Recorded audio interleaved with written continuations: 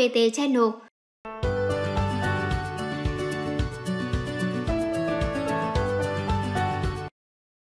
Các thính giả yêu quý của kênh truyện HPT Channel, hôm nay Phương Thảo rất vui khi được mang đến cho các bạn bộ truyện Cưới mẹ cho con. Kể từ khi người vợ cũ bỏ hai cha con anh đi vì nghèo khó, vì đứa con nhỏ bệnh tật, thì đối với anh, tất cả phụ nữ trên đời này chỉ đều là đồ bỏ đi. Cái họ yêu duy nhất trên đời này chính là tiền bạc. Anh căm hận tất cả, căm hận số phận của chính mình. Nhưng cô gái đó, ánh mắt của cô nhìn anh lại khiến cho anh, Hoàng Bình cảm thấy khó chịu bởi những cảm xúc anh chôn chặt trong trái tim giờ đây đã không còn nghe theo anh nữa. Nhưng cô ta chỉ là một cô gia sư nhỏ bé, có đáng để cho anh quan tâm. Sự xuất hiện của cô liệu có thể thay đổi được cuộc đời của hai cha con anh? Và người vợ cũ đi biệt tích 10 năm liệu có chịu đứng yên để nhìn chồng cũ hạnh phúc và con mình gọi người khác là mẹ? Chúng ta hãy cùng lắng nghe câu chuyện qua giọng đọc Phương Thảo. Cảm ơn các bạn đã chú ý lắng nghe và đừng quên like, share và subscribe kênh truyện HPT Channel để đón nghe những câu chuyện hay nhất nhé. Chúc các bạn buổi tối nghe chuyện vui vẻ. Tiếng phanh xe ngoài cửa phá vỡ bầu không khí bình yên của buổi sáng chủ nhật. Phương Ly và bạn Năm đã về tới. Hoàng Bình ra mở cửa. Phương Ly chạy nhào tới ôm choàng lấy cổ anh. Wow, con nhớ cha quá à. Cô bé nũng nịu nói trong vòng tay của anh. Con gái, cha có một bất ngờ nho nhỏ cho con. Anh bế Tiểu Ly vào nhà và nói. Thật không cha? Bất ngờ gì chứ? Hôm nay, cô gia sư mới sẽ tới đây. Có lẽ con sẽ thích cô ấy. Lại là gia sư nữa. Lần nào cha cũng nói điều này. Nhưng mà rồi sao chứ? Tất cả bọn họ chỉ ở lại đây được nhiều nhất là hai tuần. Cô bé tụt xuống khỏi người cha mình và nói. Tại sao lại phải cứ có gia sư? Con không cần họ đâu. Sớm muộn gì con cũng chết. Học làm gì cho uổng phí? Tiểu Ly, con không được nói như thế. Anh nghiêm nghị nói rồi ngồi xuống trước mặt cô bé, ánh mắt chiều mến. Con sẽ không chết, cha sẽ không để con chết. Cha sẽ đánh cược với Thượng Đế, con tin cha chứ. Cha yêu con hơn bất cứ điều gì trên thế gian này. Cho nên từ giờ trở đi, con không được phép nhắc đến điều đó nữa, nghe chưa? Con cũng yêu cha nhiều lắm. Tiểu Ly vòng cánh tay nhỏ nhắn của mình ôm choạng lấy cổ anh. Bây giờ cha nghĩ con nên lên phòng nghỉ ngơi một chút. Lát nữa cô gia sư sẽ tới đây, hai người sẽ phải làm quen với nhau. Anh mỉm cười nói. Anh vừa định khép cánh cửa lại thì chiếc xe của anh đỗ lại trước cổng nhà. Anh đã cử tài xế đón cô. Anh ta đi khá là nhanh. Anh đã không nhận ra rằng mình mong lọc ngại cô đến như thế nào cho tới khi cô đứng trước mặt anh. Cô chỉ mang theo một chiếc vali nhỏ đựng quần áo và một chiếc túi sách. Cô vào nhà đi, con gái tôi vừa mới về, để tôi chỉ cho cô phòng của nó, rồi sẽ đưa con bé tới gặp cô. Tôi không cần phiền phức như vậy đâu, anh cứ chỉ phòng cho tôi đi, rồi tôi sẽ tự đi lên làm quen với con bé. Nếu không có mặt anh ở đấy, chắc là hai cô cháu sẽ dễ nói chuyện hơn. Anh kinh ngạc vì lần đầu tiên trong vòng 10 tháng nay lại có một người hất anh qua một bên như thế. Cảm giác khó chịu len vào trong lòng anh. Anh đưa cô tới một căn phòng nhỏ trên tầng 2. Đây là phòng của cô, phòng tiểu ly ở đầu dãy. Cô có thể sang thăm con bé. Cô gái đó, ánh mắt cô ta nhìn mình, khiến Hoàng Bình khó chịu bởi những cảm xúc anh chôn chặt trong trái tim, bây giờ không còn nghe theo anh nữa. Nhưng cô ta chỉ là một cô gia sư bé nhỏ, có đáng để anh quan tâm. Kể từ khi Mỹ Anh ra đi, anh đã chán ghét mọi thứ trên đời này. Cuộc sống của anh là công việc. Anh chỉ sống và làm việc với một mục đích duy nhất chính là Phương Ly. Anh hận Mỹ Anh, anh căm hận người phụ nữ đã vứt bỏ anh và đứa con gái bé bỏng để chạy theo tiếng gọi của đồng tiền. Mỗi đêm, nhìn đứa con gái bé bỏng, lòng anh đau thắt lại. Nhưng anh lại không thể làm gì hơn cho con bé. Bệnh tim của nó chỉ có thể khỏi nếu như thay tim. Nhưng con bé chưa đến tuổi phẫu thuật, con bé đã 10 tuổi nhưng chưa một lần được gọi tiếng mẹ. Mỹ Anh, cô quá độc ác, quá nhẫn tâm. Cô đang tâm vứt lại đứa con nhỏ dại, bệnh tật, đang tâm vứt bỏ hạnh phúc của chính mình vì nỗi nghèo hèn. Đối với anh, tất cả phụ nữ trên đời này chỉ là đồ bỏ đi. Cái họ yêu duy nhất trên đời này chính là tiền bạc. Anh hận, anh hận tất cả. Anh cam hận chính cả số phận của chính mình. Bây giờ anh là một kẻ giàu có. Tập đoàn Palimi là tập đoàn lớn mạnh nhất đất nước, có tổng vốn đầu tư cao thứ tư châu Á chỉ trong vòng 10 năm mà anh đã có thể biến một công ty du lịch nhỏ trở thành một tập đoàn quốc tế. Không ai có thể tưởng tượng ra được sự tăng trưởng chóng mặt của công ty. Những con số tăng theo cấp số nhân, giá cổ phiếu niêm yết liên tục tăng nhanh. Trong vòng 5 năm trở lại đây, Palimi đã thâu tóm được hàng loạt công ty lớn nhỏ ở châu Á, châu Âu với giá cả thấp đến mức không ngờ. Các chi nhánh của Palimi có mặt ở hầu hết các quốc gia trên thế giới. Anh đã làm được một điều không tưởng. Người ta chỉ ngưỡng mộ tài năng và vẻ bề ngoài của anh – nhưng ít ai hiểu được rằng để có được ngày hôm nay, anh đã được xây dựng bởi lòng thù hận với một người đàn bà. và người đàn bà mà anh đã từng yêu soi đắm, tha thiết bằng cả linh hồn, cả thể xác, nhưng lại đang tâm vứt bỏ đứa con của anh. Linh gõ nhẹ lên cánh cửa sơn màu trắng, phòng của Tiểu Ly, chống ngực nện thịt thịt. Cô muốn gặp cô bé ấy, cô muốn cho cô bé ấy một sự đồng cảm giữa hai tâm hồn. Cánh cửa mở ra, một cô bé xinh xắn đứng trước mặt cô, ngước nhìn cô bằng ánh mắt hiếu kỳ xen lẫn dọ la nghi hoặc. Linh kinh ngạc khi nhìn thấy những điều ấy trong mắt cô bé. Có lẽ những biến cố trong tuổi thơ, căn bệnh hiểm nghèo đã biến một cô bé con trở nên như vậy. Chị là Dương Ngọc Linh, gia sư mới của tôi.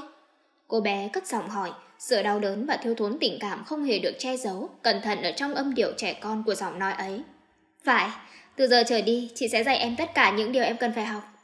Cô mỉm cười chìa tay ra để bắt lấy bàn tay nhỏ nhắn. Chị bao nhiêu tuổi vậy? Chị 26 tuổi. Thế chị có biết từ trước đến giờ đã có bao nhiêu gia sư rồi không? Tất cả bọn họ đều không chịu được quá hai tuần. Để rồi xem, chị sẽ ở lại đây được bao lâu? Chị cũng rất muốn thử xem em có thể làm được gì, cô bé đáng yêu ạ. Đừng có mà gọi tôi là cô bé, tôi đã lớn rồi. Tôi tên là Phương Ly, Nguyễn Phương Ly. Ly Ly, cô bé đáng yêu. Đã bảo là đừng có gọi tôi là cô bé cơ mà. Và lại, chị bỏ ngay cái tên Lily đi nghe chưa? Chướng tai. Chị là gia sư và là bảo mẫu của em, chứ không phải là người hầu. Chị nghĩ em nên tử tế một chút, nếu không em sẽ phải chịu nhận hình phạt xứng đáng. Cô nói đầy nghiêm nghị. Chị dám nói với tôi bằng cái giọng đó, tôi sẽ mách bố tôi cho coi. Bố sẽ đuổi cổ chị ra khỏi đây, như tất cả bọn họ. Cô bé bắt đầu tức giận, đúng như những gì cô nghĩ. À, hóa ra đó là cách em đuổi những cô gia sư của mình đi. Vậy thì từ giờ trở đi, hãy tự mình tìm cách hạ gục chị, đừng nhờ đến sự giúp đỡ của bố em nữa, để xem em có thể thắng được chị hay không. Cô mỉm cười nói rồi đi ra khỏi phòng. Tim cô như muốn nhảy ra khỏi lồng ngực và nó vẫn nện thịt thịt khi cô về tới phòng của mình.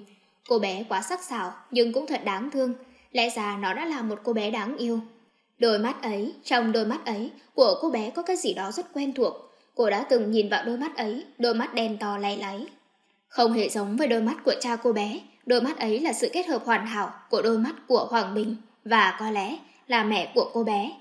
Linh vào nhà tắm, cô muốn xả hết bụi đường còn vương lại trên tóc và quần áo. Và hơn hết, cô muốn xả hết những ký ức về ngôi nhà đó. Nơi mà hôm nay cô đã chính thức bước đi và sẽ không bao giờ quay trở lại nữa. Từ giờ trở đi, cô sẽ không còn phải nghe những lời xỉ vả, nhục mạ của người mẹ kế và đứa con gái của bà ta. Cha cô đã không còn nữa, căn biệt thự ấy giờ đây không còn thích hợp với cô nữa. Đã lâu không còn cái không khí ấm áp của bộ gia đình, đã không còn người mẹ yêu thương cô và người cha ngày ngày đọc sách cho cô. Tất cả đã mất hết, vì thế cô muốn đi ra, không còn gì hối tiếc. Cô buông tay cho tất cả bọn họ tiền bạc, những thứ họ cần, còn cô thì không cần gì hết. Cô không muốn trở thành một kẻ ăn bám vợ của cha mình. Những tiếng nước nóng xối vào cơ thể làm cho cô thoải mái, nhưng dây thần kinh được giãn ra để hưởng thụ. Cô bước ra khỏi phòng tắm, bất chợt bắt gặp mình trong gương. Đôi mắt ấy, bây giờ cô đã nhớ ra đôi mắt ấy, vì sao lại quen thuộc với cô như vậy? Thì ra đôi mắt của cô bé giống hệt với đôi mắt của cô. Cô có đôi mắt của mẹ mình, cả cuộc đời này cô sẽ không bao giờ quên đôi mắt ấy. Mẹ cô đã nhìn cô thật lâu trước khi bà ra đi. Bà đã nhìn thật lâu vào đôi mắt của cô và nói còn có một đôi mắt giống mẹ và mẹ tự hào khi Thượng Đế đã trao tặng nó cho con. Ngại quá tốt với mẹ con ta. Giờ mẹ phải đi, mẹ sẽ rất tiếc khi không thể chứng kiến con lớn lên. Không được nhìn thấy con trở thành một thiếu nữ xinh đẹp. Không được nhìn thấy con ở trong vòng tay của người đàn ông con yêu. Không được ôm con vào lòng mỗi khi con đau khổ. Nhưng con hãy nhớ, dù có ở đâu, thì mẹ vẫn luôn yêu con, luôn luôn dõi theo con. Bằng chứng là con đang mang đôi mắt của mẹ. Cuối cùng, hãy hứa với mẹ một điều. Dù có bất cứ điều gì xảy ra, con cũng không được chạy trốn tình yêu, không được chối bỏ tình yêu của chính mình, bởi vì đó sẽ là điều khiến con hạnh phúc, sẽ là mạng sống của con. Con gái, đừng bao giờ chạy trốn khi tình yêu đến với con. Nói xong những lời đó, mẹ cô đã ra đi mãi mãi, bỏ lại hai cha con cô. Chưa bao giờ những ký ức ấy sống động với cô như lúc này. Cô đã đúng khi đồng ý tới đây, đã đúng khi muốn chinh phục cô bé ấy. Quãng đường trước mặt sẽ rất gian nan, nhưng cô rất muốn bước đi, rất muốn tự mình bước đi. Có những điều tuyệt vời đang chờ cô, mẹ và cha cũng đang dõi theo cô. Buổi học đầu tiên của Tiểu Ly, cô hít một hơi thật sâu rồi bước vào phòng. Cô bé đang ngồi trên bàn học và đọc một cuốn sách. Chị tới, rất đúng giờ. Cô bé nói trong khi vẫn trú mục vào cuốn sách. Hôm nay chúng ta sẽ học môn toán, em lấy sách vở ra đi. Cô ngồi xuống bên cạnh Tiểu Ly. Nhưng mà hôm nay tôi không muốn học toán, tôi muốn học lịch sử. Cô bé gấp lại cuốn sách trên bàn và quay ra nói. Được thôi. Sự kiên nhẫn của cô khiến cho Phương Ly khó chịu. Những gia sư trước đây chỉ luôn luôn chú tâm vào việc giảng dạy. Họ chẳng bao giờ cho cô bé được học theo ý thích để xem chị chịu được đến bao giờ. Tôi không muốn học nữa, tôi muốn chơi. Nhưng cha em đã dặn rằng em phải học. Chẳng phải, chị bảo đừng có dựa vào cha tôi hay sao? Thế thì em muốn chơi gì, chị sẽ chơi cùng với em. Tôi không thích chơi với chị. Cô bé nói rồi đi đến phía máy vi tính, bật trò xếp ô chữ. Ồ, đó là Italian. Cô nói khi nhìn thấy sự bế tắc của Tiểu Ly, công nhận câu đó cũng hơi khó. Nhưng cô bé bướng bỉnh lại đánh ô chữ thành England. Mặc dù sai, nhưng cô bé lại lấy đó làm thích thú. Cô tiếp tục theo dõi trò chơi và ngạc nhiên vì sự thông minh của cô bé. Tại sao chị lại đi làm gia sư? Cô bé đột nhiên hỏi khiến cho cô bối rối. Chị cũng không biết tại sao nữa. Có lẽ là do chị thích được dạy một ai đó những điều mà chị biết. Thế là chị muốn dạy dỗ người khác sao? Không phải là dạy dỗ theo kiểu đó, mà là chị muốn ở bên cạnh một ai đó, trở thành một người bạn, một người chị gái, hoặc là một điều gì đó thân thiết, chỉ thế thôi. Thế chị có biết tôi sẽ chết hay không? Không đâu, em sẽ không chết. Cha em sẽ không để cho em chết. Thôi đi, chị đừng nói dối tôi. Cô bé hét lên. Bệnh này không thể chữa được đâu, chỉ có thay tim thôi, nhưng làm gì có ai tốt bụng đến thế. Sớm muộn gì thì tôi cũng chết. Mẹ tôi không yêu thương tôi vì tôi bị bệnh. Mẹ đã bỏ rơi tôi, chẳng có ai thương tôi hết. Tại sao em lại nói như thế? Em mới còn cha, còn bà Nam nữa cơ mà. Và có lẽ là cả chị nữa. Chị có thể trở thành một người bạn của em. Chúng ta có thể làm những điều mà em thích, hoặc là cả hai chúng ta đều thích cùng nhau. Tại sao chị lại muốn làm bạn với tôi? Bởi vì chị nhìn em và nhớ đến mẹ chị. Bà ấy cũng mất rồi, vì bệnh máu trắng. Tôi xin lỗi, lạ thật. Tại sao tôi lại kể những chuyện này với chị chứ?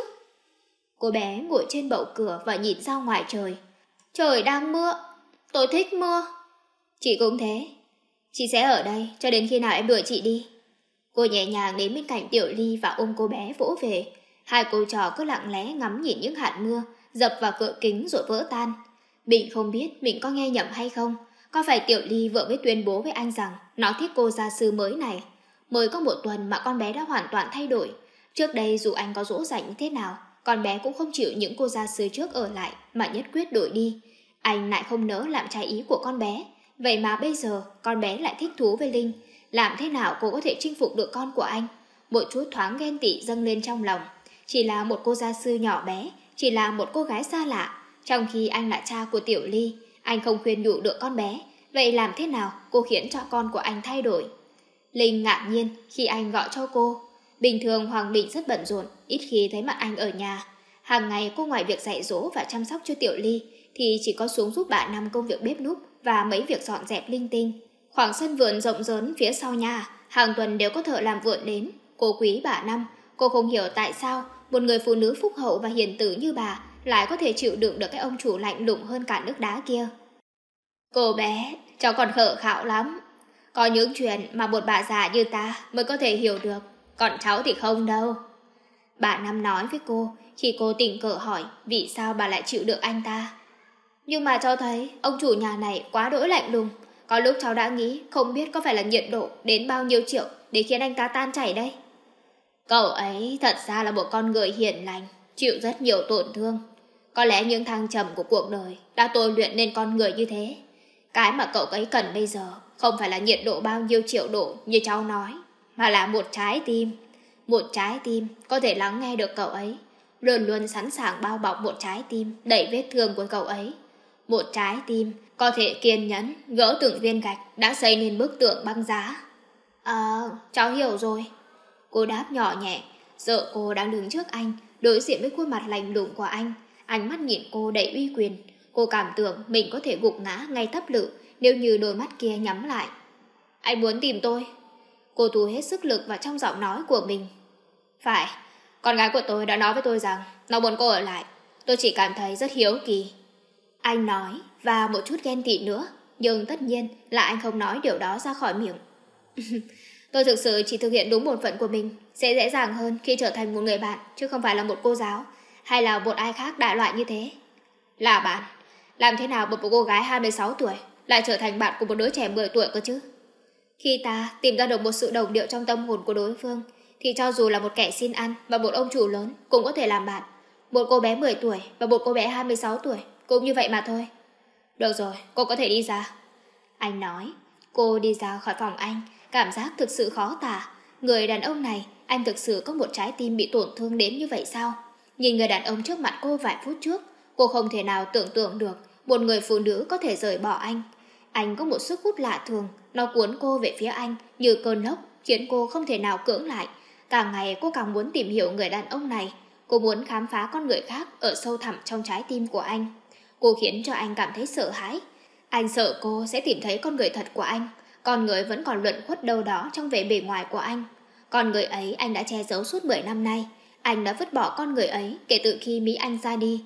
Anh xây dựng cho mình một cái vỏ bọc lạnh lùng. Bởi hơn ai hết, anh hiểu được sự mất mát của chính mình. Anh không muốn tin tưởng thêm một ai nữa. Nhưng kể từ khi cô xuất hiện, đứng trước cánh cổng mỏ xanh, anh đã biết có điều gì đó sẽ thay đổi. Nhưng anh không ngờ nó lại mạnh mẽ đến như vậy.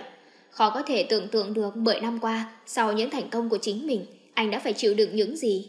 Càng muốn hiểu người đàn ông đó, Linh càng cảm thấy anh khó hiểu. Anh có một ma lực mãnh liệt có thể khiến những người đứng trước anh tưởng bọn họ hiểu về anh nhiều lắm. Nhưng kỳ thực, họ lại chẳng hiểu một chút gì về anh cả. Ở bên anh, tất cả mọi người chỉ là kẻ ngốc. Cô nghĩ thế, bởi chính cô cũng cảm thấy điều đó. Một sự mô hồ đang diễn ra trong cô. Đấu tranh từng tế bào thần kinh trong đầu cô. Anh là một ẩn số mà cũng không phải như vậy. Anh bộc lộ con người của mình rất thật, nhưng kỳ thực đó lại không phải là con người của chính anh. Cô nhớ lại ánh mắt của anh khi lần đầu họ gặp nhau, ánh mắt như nhìn xoáy vào đối phương. Cả hôm nay nữa, ánh mắt đó, ánh mắt khiến cho cô lo sợ, khiến cho cô sụp đổ, ánh mắt khiến cho cô muốn biến mất khỏi thế gian này.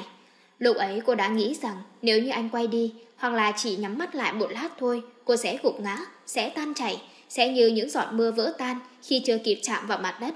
Cô bị sao thế này chứ? Sao cô không thể dứt được hình ảnh của anh ra khỏi đầu của mình? Cô lắc đầu thật mạnh, cố xua tan đi ánh mắt của anh, xua tan đi sự lạnh lùng ấy, vẻ đẹp ấy. Cô cố tìm một việc gì đó để quên đi. Cô sang với Tiểu Ly, cô bé đang chăm chú và trò chơi đố chữ trên máy vi tính. Nó rất vui khi thấy cô. Chị vào đây đi, em đang tìm từ này mà tìm mãi không ra. Câu hỏi gì thế? Cô ngồi xuống bên cạnh Tiểu Ly, mỉm cười chiều mến. Thành phố Hoa Hồng của nước Mỹ. Cô bé đáp và tìm kiếm một câu khác dễ hơn, trong khi chờ đợi cô nghĩ câu trả lời. Poland, nếu như chị nhớ không nhầm. Sao cũng được, đủ 8 ô ở đây là được rồi. Ơ, đúng này. Tiểu Ly reo lên, kéo cô trở lại với chính mình. Chị giỏi đấy chứ. Cảm ơn em, chơi tiếp đi, chị về phòng đây, nhớ ngủ sớm nhé. Sáng mai còn phải dạy học bài đấy. Vâng, chúc chị ngủ ngon. Ngủ ngon. Cô ra khỏi phòng Tiểu Ly, đúng lúc đó anh đi tới. Anh đi đâu vậy? Ngốc quá, thừa biết anh đến phòng của Tiểu Ly. Tôi lên xem Phương Ly như thế nào, cô vừa từ đó ra sao? Vâng. Ba giây im lặng tiếp theo, đó tựa như dại ba thế kỷ. Tôi về phòng trước đây, chúc anh ngủ ngon. Cô khó nhọc nói và khó nhọc lê bước về phòng mình. Cái cảm xúc lẫn lộn khó tả khiến cô cứ chằn chọc mãi tới gần sáng mới chợp mắt được một chút. Một đêm khó ngủ khiến buổi học của Tiểu Ly phải kết thúc sớm. Cô bé có vẻ thích thú khi được nghỉ học sớm. Cô mệt mỏi lê bước về phòng, đổ dập xuống giường và chìm vào giấc ngủ.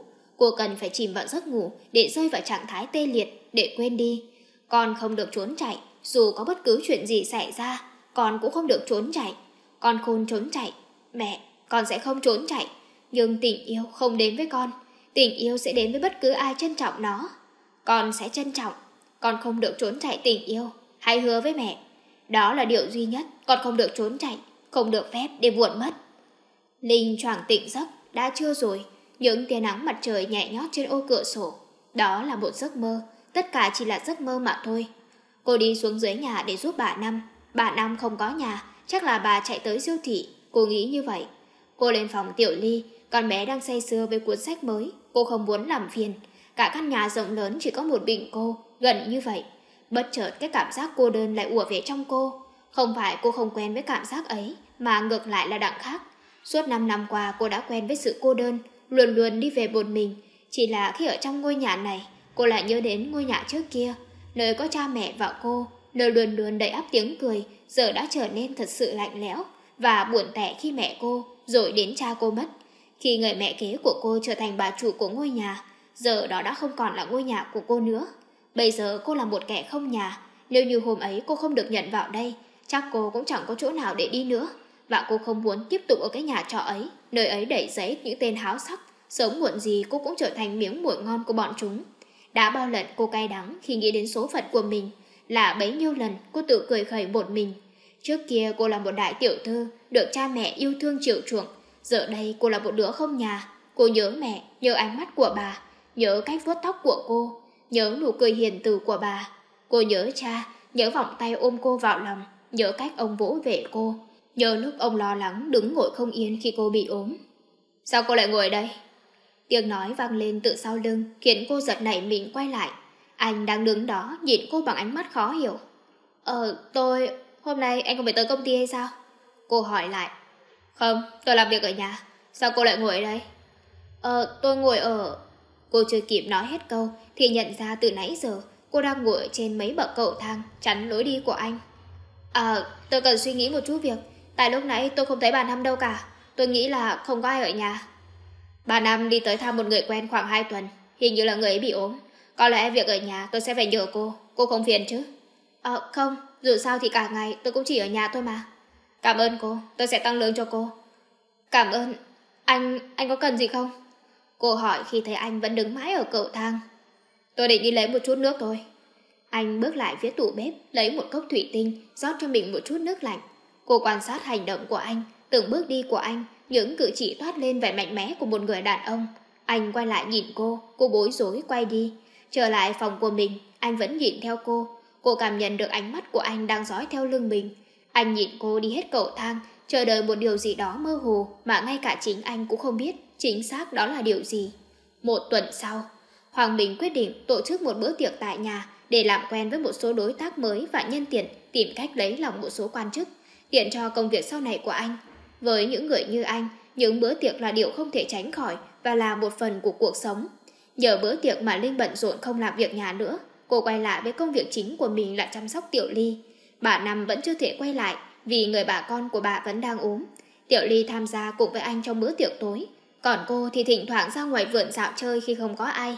Hồ vườn rộng vừa mới hôm qua còn đầy tiếng cười nói, tiếng nhạc du dương, bây giờ lại trở nên trong xanh và yên tĩnh. Cô dừng lại trước buồn hoa hồng, đủ các loại màu sắc, nhưng cô chỉ chú ý tới khóm hồng vàng đang tắm mình trong nắng vàng. Màu vàng của hoa hòa quyện với màu vàng ấm áp của nắng, khiến cho không gian xung quanh như lấp lánh toàn bộ màu vàng. Hoa hồng vàng, tượng trưng cho sự phản bội. Giọng nói của một người phụ nữ cất lên, khiến cô quay lại, Người phụ nữ có khuôn mặt phúc hậu và giọng nói nhẹ nhàng êm du, đang nhìn cô nở nụ cười triệu mến. HPT Channel. Cô gái, có lẽ là tôi làm phiền cô chăng? Ờ, dạ không ạ. Tôi chỉ đang ngắm nhìn mấy bông hoa. Chắc là bà là khách của ông chủ. Phải, còn cô. Tôi là gia sư của con gái ông ấy. Tôi thấy cô chăm chú vào khóm hồng vàng đó. Cô thích chúng hay sao? Cũng không hẳn như vậy. Tôi thích nhất là hoa cẩm trướng. Nhưng hoa hồng vàng cũng có sức hút riêng của nó khiến cho những người chiêm ngưỡng nó không thể rời mắt. Hoa hồng vàng tượng trưng cho sự phản bội. Cô thấy được gì từ sự phản bội? Hai người ngồi xuống một chiếc ghế đá gần đó. Hoa hồng vàng chỉ tượng trưng cho sự phản bội của Eros. Với tôi, nó tượng trưng cho tình yêu vĩnh cửu. Tình yêu vĩnh cửu dành cho Eros khiến cho nàng Elisa phải chết. Khiến cho Zeus biến nàng thành hoa hồng vàng, chứ không phải để nàng biến thành cát bụi. Có lẽ ở một nơi nào đó trong sâu thẳm trái tim của mình, Elisa cũng đã tha thứ cho Eros hay lắm, tượng trưng cho tình yêu vĩnh cửu. Vậy cô đã có tình yêu vĩnh cửu hay chưa? Bà hỏi cô. Vẫn chưa, có lẽ tình yêu sẽ không đến với tôi đâu. Cô trả lời và chợt nhận ra trong giọng nói của mình có vương một chút buồn. Tại sao lại như vậy chứ? Con gái của tôi, tình yêu đến với tất cả mọi người. Đó là thứ duy nhất, ngoài cái chết ra, mà bất cứ ai trong chúng ta không thể chối bỏ. Phu nhân Yan, thì ra là bà đây. Giọng nói quen thuộc vang lên sau lưng, khiến cho cô buồn rùn, trái tim của cô run rẩy. Ờ, cùng với cô gia sư của con gái tôi. Anh có một cô gia sư rất tuyệt vời. Bà mỉm cười rồi đứng lên. Rất vui được gặp cô, cô gái. Chúc cô tìm được bông hoa vàng của chính mình. Bà nói nhỏ với cô. Có lẽ bông hoa ấy đang ở trước mặt cô đấy. Bà bất chợt nói khi nhìn thấy anh đi vào trong, giờ chỉ còn lại anh và cô. Hai người đang nói chuyện gì vậy? Anh hỏi. À, không có gì. bà ấy và tôi chỉ nói chuyện một chút về bãi bông hoa. Xin phép tôi trở về phòng trước. Khoan đi đã, nói chuyện với tôi một chút. Anh bước tới bên cô, trái tim cô run rẩy. Tại sao bà ấy lại nói như vậy? Trước mặt cô là ở đâu? Chẳng nhẽ lại là anh, không phải đấy chứ? Anh có chuyện gì muốn nói với tôi? Cô hỏi, không dám nhúc nhích bởi anh đang ngồi bên cạnh cô. Cảm giác này khiến cô như nghẹt thở. Lúc nãy bà ấy nói tìm tình yêu là sao? Anh hỏi. Ờ thì chúng ta đang nói chuyện về ý nghĩa của những bông hoa hồng vàng thôi. Không có gì to tát cả. Vậy cô tìm được tình yêu chưa? Ý tôi là cô đã có bạn trai. Ờ chưa, tôi chưa có bạn trai. Cô đáp lại anh. Vậy sao? Tại sao? Cô không có ai theo đuổi. Anh vẫn có tìm hiểu. Không phải vậy, chỉ là tôi không có thời gian để nghĩ tới chuyện đó. Cuộc sống có rất nhiều thứ phải lo lắng. Nhưng như vậy chẳng nhẽ không có một người đàn ông nào khiến cho trái tim của cô rung động hay sao? Cô vẫn tiếp tục ngoan cố. Có lẽ là có chứ. Cô trả lời. Phải, có lẽ là có. Và người đó là... Tôi không muốn nghĩ tới. Ai vậy? Anh hỏi và cảm thấy miệng mình khô khốc. Anh thậm chí còn chẳng ý thức được điều mình vừa hỏi cô là gì. Cho dù người đó là ai, thì hắn chính là một kẻ may mắn. Anh nghĩ như vậy. Cô là một cô gái tốt, một người bạn tốt. Ờ thì tôi đã nói là tôi không muốn nhắc tới anh ấy mà. Cô trả lời và anh im lặng. Phải, từ trước tới bây giờ, chỉ có một người đàn ông khiến cô định tâm đến. Từ khi anh xuất hiện, ánh mắt của cô chỉ dõi theo anh. Trái tim cô chỉ tìm hình bóng của anh. Cô không thể chạy trốn và cô không muốn chạy trốn. Nhưng anh lại không yêu cô. Cô biết anh không yêu cô. Cô đã nghe bạn Năm kể chuyện của Mỹ Anh. Cô đã hiểu tình yêu anh dành cho Mỹ Anh. Cô đã biết dù anh có lạnh lùng đến đâu, dù anh có căm hận Mỹ Anh đến đâu, thì trái tim của anh trong chị ấy vẫn tồn tại, vẫn luôn tồn tại. Anh đã thuộc về chị ấy. Anh đã vì chị ấy mà tạo dựng nên cơ nơi này. Anh đã vì chị ấy mà dựng lên bức tượng băng giá bao bọc trái tim của mình. Anh đã làm nhiều việc vì chị ấy, vì tình yêu anh dành cho chị ấy. Người phụ nữ như thế nào mới dám vứt bỏ người đàn ông như anh? Bây giờ cô sợ phải ở bên cạnh anh. Cô nhìn thấy anh, thấy mình như kẻ khát nước, biết nước độc nhưng vẫn không thể nào mà ngừng được cơn khát. Cô đau đớn, cô muốn tan biến, cô muốn được ở trong vòng tay của anh. Cô muốn được anh yêu, cô muốn, rất muốn, rất muốn nhiều thứ, rất muốn nhiều điều. Nhưng đó vẫn mãi chỉ là ước muốn. Anh là anh, mà cô là cô. Anh và cô thuộc hai thế giới khác nhau. Cô biết nếu bây giờ Mỹ Anh quay lại, anh sẽ tha thứ cho chị ấy. Anh sẽ lại xây dựng gia đình của mình với chị ấy. Hai người họ và Phương Ly mới đích thực là một gia đình. Đêm nay cô muốn khóc, khóc để chôn chặt tình yêu của anh, khóc để quên đi hình bóng anh đã khắc sâu vào tim cô. Cô muốn khóc cho thỏa thích để ngày mai sẽ không đến mức kìm lòng mình không được trước anh. Những vị khách đã về hết, anh đã ký được hợp đồng với Leonan. Có lẽ phần công lao là của cô.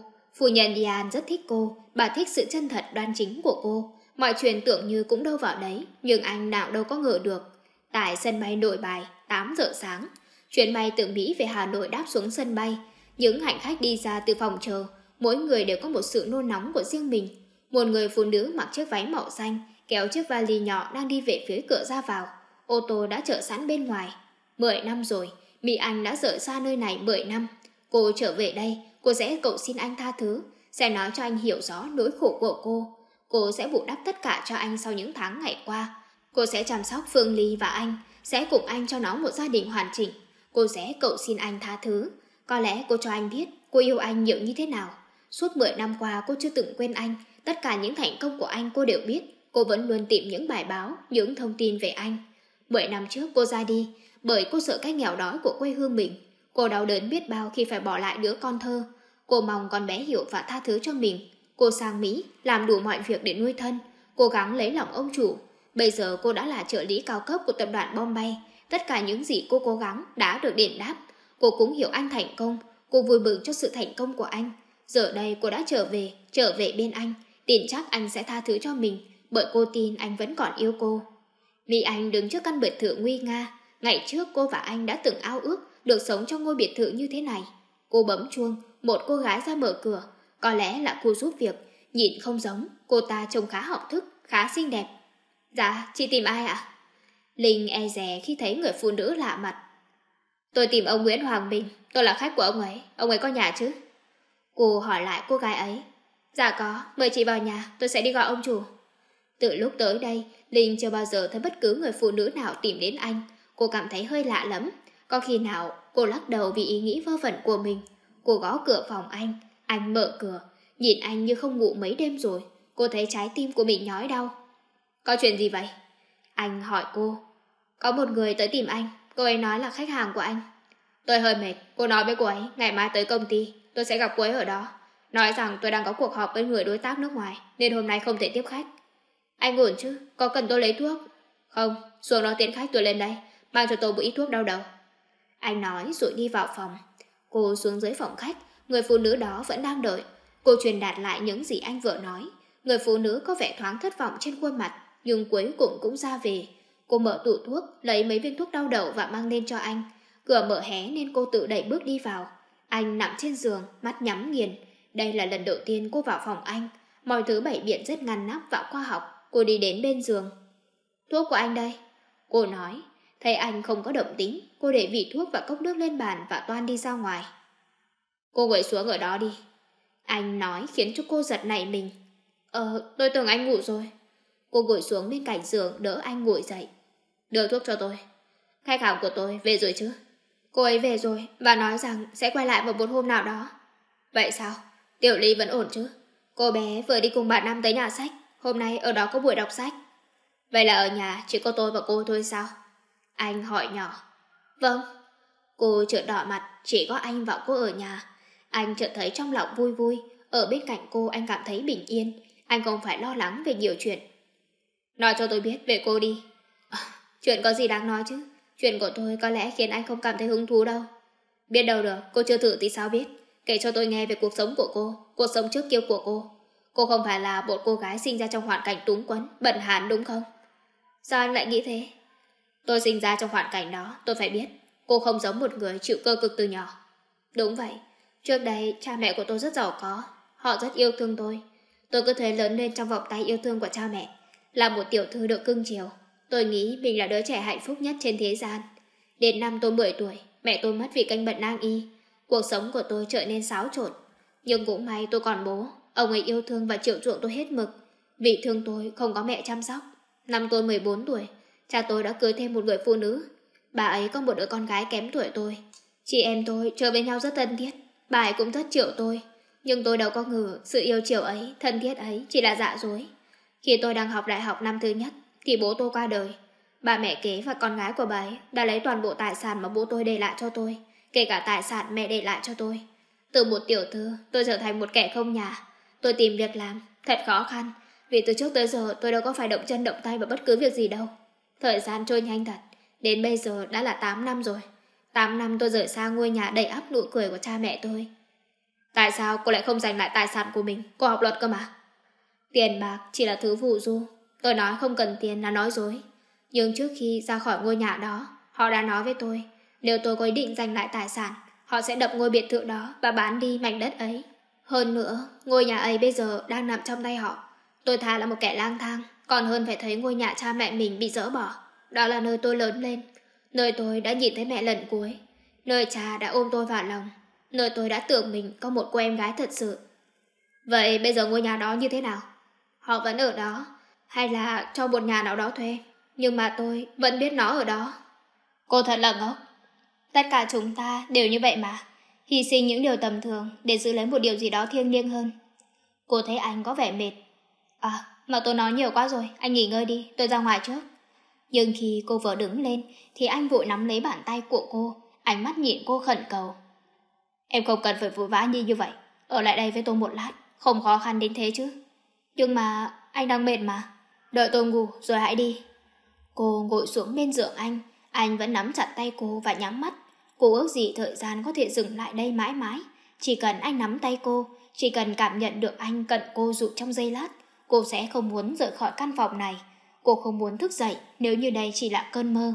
Nhưng cô phải đi, cô phải rời khỏi căn phòng này, rời khỏi anh, bởi anh đang nằm trước mặt cô, bởi trái tim cô lại gạo thét gọi tên anh, bởi lý trí của cô bây giờ cũng đã khuất phục con tim cô. Cô nhẹ rút tay mình ra khỏi tay anh, gión rén bước ra khỏi phòng để không khiến anh thức giấc. Trời tối rồi, anh không ngờ mình đã ngủ lâu như vậy. Đầu anh đã hết đau, nhưng vẫn còn thấy mệt. Nhìn quanh căn phòng vắng tanh, cảm giác cô đơn xâm chiếm anh. Cô đi rồi, anh biết cô đã đi. Anh chưa ngủ, cô không muốn ở bên cạnh anh. Âm thanh cánh cửa khép lại khô khốc. Cô đã kể cho anh nghe rõ về cô. Nỗi thương cảm trào lên trong anh. Cô muốn ôm cô vào trong lòng, muốn vỗ về cô, muốn che chở thân hình mảnh mai của cô. Anh bước xuống giường, đang định mở cửa thì đã có người mở cửa giúp anh. Cô bước vào, trên tay mang theo một tô cháo, mỉm cười nhìn anh. Anh dậy rồi sao? Bà Năm mời nấu cháo cho anh, anh mau ăn đi. Từ sáng tới giờ anh đã ăn gì đâu? Cô nói. Cảm ơn, sao chưa đi? Tôi đợi ăn xong, rồi mang bát xuống luôn. Anh ăn nhanh đi không nguội. Thôi thì để tôi bón cho, anh ăn như thế thì bao giờ mới xong chứ? Cô ngửa mắt khi nhìn thấy anh cứ ngẩn ngừ không chịu ăn. Không cần đâu. Không nghe anh nói, cô giật lấy cái thìa trên tay anh và bưng tô cháo lên, múc tưởng thìa cháo ấn vào miệng của anh. Mặc dù cho anh lắc đầu quẩy quẩy, cuối cùng thì cũng xong. Cô mang tô cháo ra khỏi phòng, lát sau quay lại, trên tay cầm bộ đống thuốc, bắt anh uống. Cô lại đi ra khỏi phòng, lát sau lại quay lại với một chiếc khăn ấm để lau mặt cho anh. Đến lúc này thì anh không thể chịu nổi nữa. Cô nhìn cô ra ra vào vào, khiến anh chóng cả mặt. Hơn nữa, anh không muốn nhìn cô bước ra khỏi căn phòng này. Thôi được rồi, tôi đâu phải trẻ con. Anh nói khi cô định lau mặt cho anh. Tôi tự làm được mà. Anh tự lau mặt rồi lại đưa chiếc khăn cho cô. Anh nghỉ đi. Cô cầm chiếc khăn và đứng lên. Anh kéo cô ngồi xuống. Xin em đây, từ nãy giờ em cứ ra ra vào vào, làm tôi chóng hết cả mặt. Em ngồi in một chỗ được hay không? Nhưng mà tôi phải đi cất cái khăn. Bỏ đấy đi. Anh gậm gự trong cổ họng bực bội nói. Cô đành nghe lời anh, để lại chiếc khăn xuống bàn. Em có hận mẹ kế của mình hay không? Anh bất chợt hỏi. Lúc đầu thì có, bây giờ thì không. Không tại sao? Chẳng phải họ đã đuổi em ra khỏi nhà? Họ đã đuổi tôi ra khỏi nhà, nhưng hận họ thì tôi được gì chứ? Cứ thử hận mãi cũng chẳng khiến mọi việc trở lại như cũ. Hơn nữa hận họ chỉ khiến tôi không thoải mái, còn họ thì có mất gì đâu. Tôi sống tiếp cuộc sống của mình, một cuộc sống thoải mái, tự do, một cuộc sống mà cha mẹ tôi muốn tôi sống. Em thật kỳ lạ. Anh nhìn thẳng vào mắt cô khiến cho cô bối rối. Phải, bạn tôi cũng nói như vậy. Cô ấy từng hét vào mặt tôi và nói tôi bị điên. Bạn của em, bạn thân. Từ hồi chúng tôi còn nhỏ, đã hai năm rồi chúng tôi không gặp nhau. Vì sao? Cô ấy đi đâu à? Cô ấy sang Pháp với chồng. Chúng tôi không gặp nhau suốt hai năm nay. Thỉnh thoảng cô ấy có gửi email cho tôi. Cô ấy có biết em tới đây không? Có, tôi đã gửi email cho cô ấy. Anh không phiền nếu tôi cho cô ấy địa chỉ. Tôi không muốn cô ấy lo lắng cho mình nữa. Dĩ nhiên là không. Anh đưa tay vén một sợi tóc vương trên má của cô. Đôi mắt của anh chiếu vào cô như thôi miên. Ngay giây phút này, cô thấy trái tim của mình ngừng đập. Cô có một cảm giác anh yêu cô tha thiết. Hay chỉ ít thì cô muốn lừa dối mình để mình có được niềm hạnh phúc ấy một lần. Trong tích tắc, môi anh gần hơn, gần hơn nữa và anh đột đôi môi nóng bỏng của mình lên môi của cô. Nụ hôn đầu tiên của cô bị anh cướp mất, cô không có gì hối tiếc. Nụ hôn ngọt ngào khiến máu trong tĩnh mạch của cô sôi lên. Cô rẻ rặt đặt tay lên ngực anh, anh vòng tay, ôm chặt lấy eo của cô. Cô để mặc của mình trong vị ngọt đôi môi của anh, buông thả mình trong cảm giác bay bổng hạnh phúc. Không được, không thể như thế này được, mọi chuyện không thể diễn ra theo cách này. Em phải quên anh, em không thể. Anh không yêu em, không yêu em. Cô đẩy anh ra, thở hồn hển vì độ hôn của anh. Tôi, tôi xin lỗi. Cô nói rồi chạy ra khỏi phòng. Chết tiệt, anh tự nguyện rủa chính mình. Anh không kiềm chế được ham muốn mãnh liệt đó. Anh không thể ngăn mình khi cô ngồi bên anh. Hương thơm của cô quấn lấy anh. Và cuối cùng, anh đã hành động theo bản năng để trái tim lấn át lý trí. Cô ngọt ngào mạnh mẽ, nhưng cô cũng thật yếu đuối. Anh muốn che chở cho cô, muốn bảo vệ cô. Đôi môi của cô, anh đã muốn ngấu nghiến nó kể từ giây phút anh nhìn thấy cô. Chỉ có điều, anh không muốn cô như cách anh muốn với những người đàn bà khác. Với cô, anh không có cảm giác thù hận. Anh không muốn ai phải trả giá khi anh bên cạnh cô. Bao năm qua, anh đã hận người phụ nữ ấy. Vì cô ta, anh đã căm ghét tất cả những người phụ nữ trên đời này. Anh coi những người phụ nữ đó chỉ là công cụ để thỏa mãn nhu cầu trên giường. Cho dù họ có đẹp đến đâu, thì với anh họ chỉ là một kẻ phản bội. Nhưng cô Thị khác, cô chân thật và bao dung. Cô không hận cả người đã đuổi cô ra khỏi nhà và khiến cô trắng tay. Cô quá ngây thơ và nhỏ bé. Anh muốn được bảo vệ cô. Thật lòng anh muốn được làm điều đó cho cô. Anh muốn cô được hạnh phúc, muốn cô cười thật nhiều. Người cô yêu là ai? Người cô yêu, chết tiệt, hắn sẽ là kẻ hạnh phúc nhất trên đời này. Anh trở lại công ty, một đống công việc ngổn ngang quần giải quyết, không cho phép anh ở nhà thêm nữa. Tạm thời gác cô sang một bên, anh phải tập trung vào công việc. Cô thư ký gõ cửa nói có một vị khách muốn gặp anh. Anh nhớ lại người hôm qua tới nhà mình, khách hàng của anh ư. Anh không bao giờ tiếp khách hàng ở nhà. Tất cả các đối tác của anh đều biết điều đó. Có tiếng gõ cửa. Anh bước ra mở cửa mà không biết rằng đằng sau cánh cửa đó, cuộc sống của anh sẽ bị xáo trộn. Người phụ nữ đứng trước mặt anh khiến cho anh sửng sốt, kinh ngạc và giận dữ. Cô, cô làm gì ở đây? Anh khó khăn lắm mới thốt lên lời. Hoàng Bình. Mỹ Anh nói. Em đã trở về.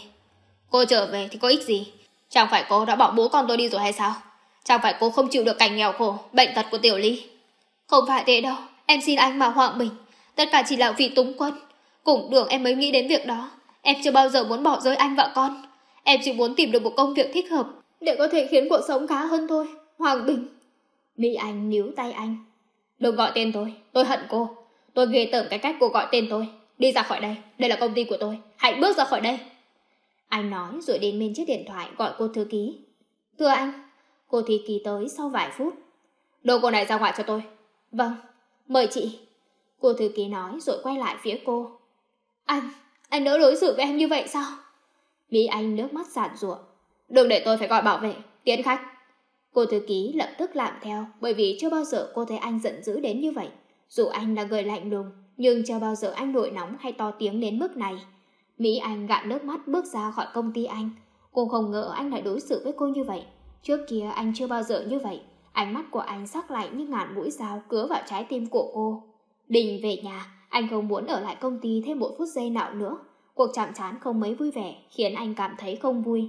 Anh bảo cô thư ký gửi mail cho anh. Bà Năm đang dưới bếp, ngạc nhiên khi thấy anh trở về. Ơ, sao cậu lại về giờ này? Tôi muốn nghỉ sớm. Tiểu Ly và Linh đâu? Anh hỏi. Hai cô cháu đang ở trên phòng, Tiểu Ly vẫn đang học mà. Vậy sao? Tôi quên mất. Thôi, tôi về phòng đây. Anh chợt lo sợ. Hôm qua Mỹ Anh đã tới đây. Anh lo sợ cô đã gặp Mỹ Anh. Cô có biết Mỹ Anh?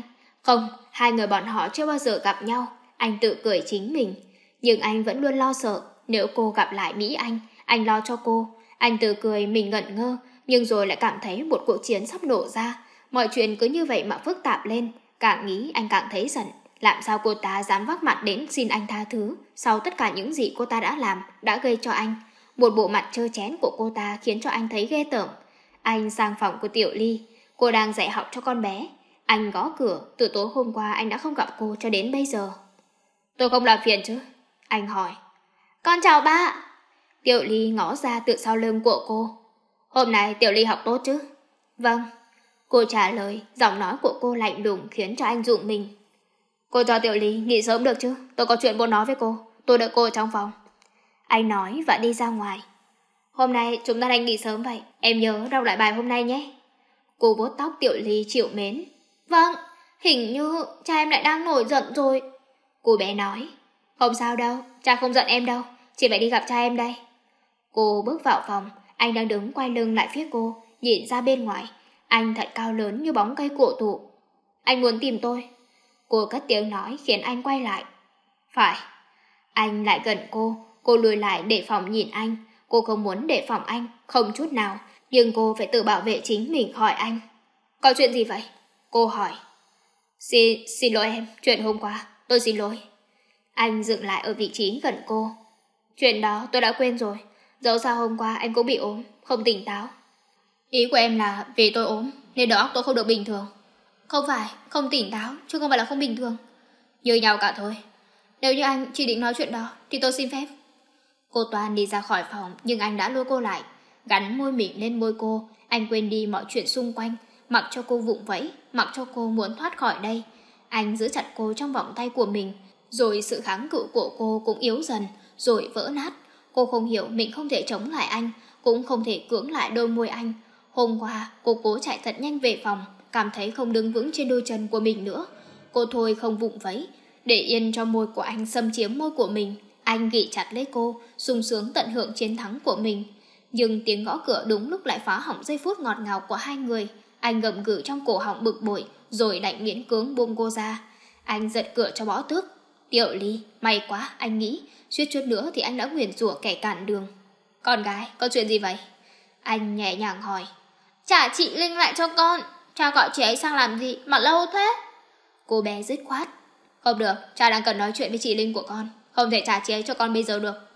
Anh đáp lại một cách nghiêm nghị. Anh không muốn để cho cô đi bây giờ. Chưa phải lúc, tốt nhất con bé nên chờ đợi. Anh nghĩ thế. Không được, con muốn chị ấy cơ. Cô bé dậm chân phụng phịu ở bên trong.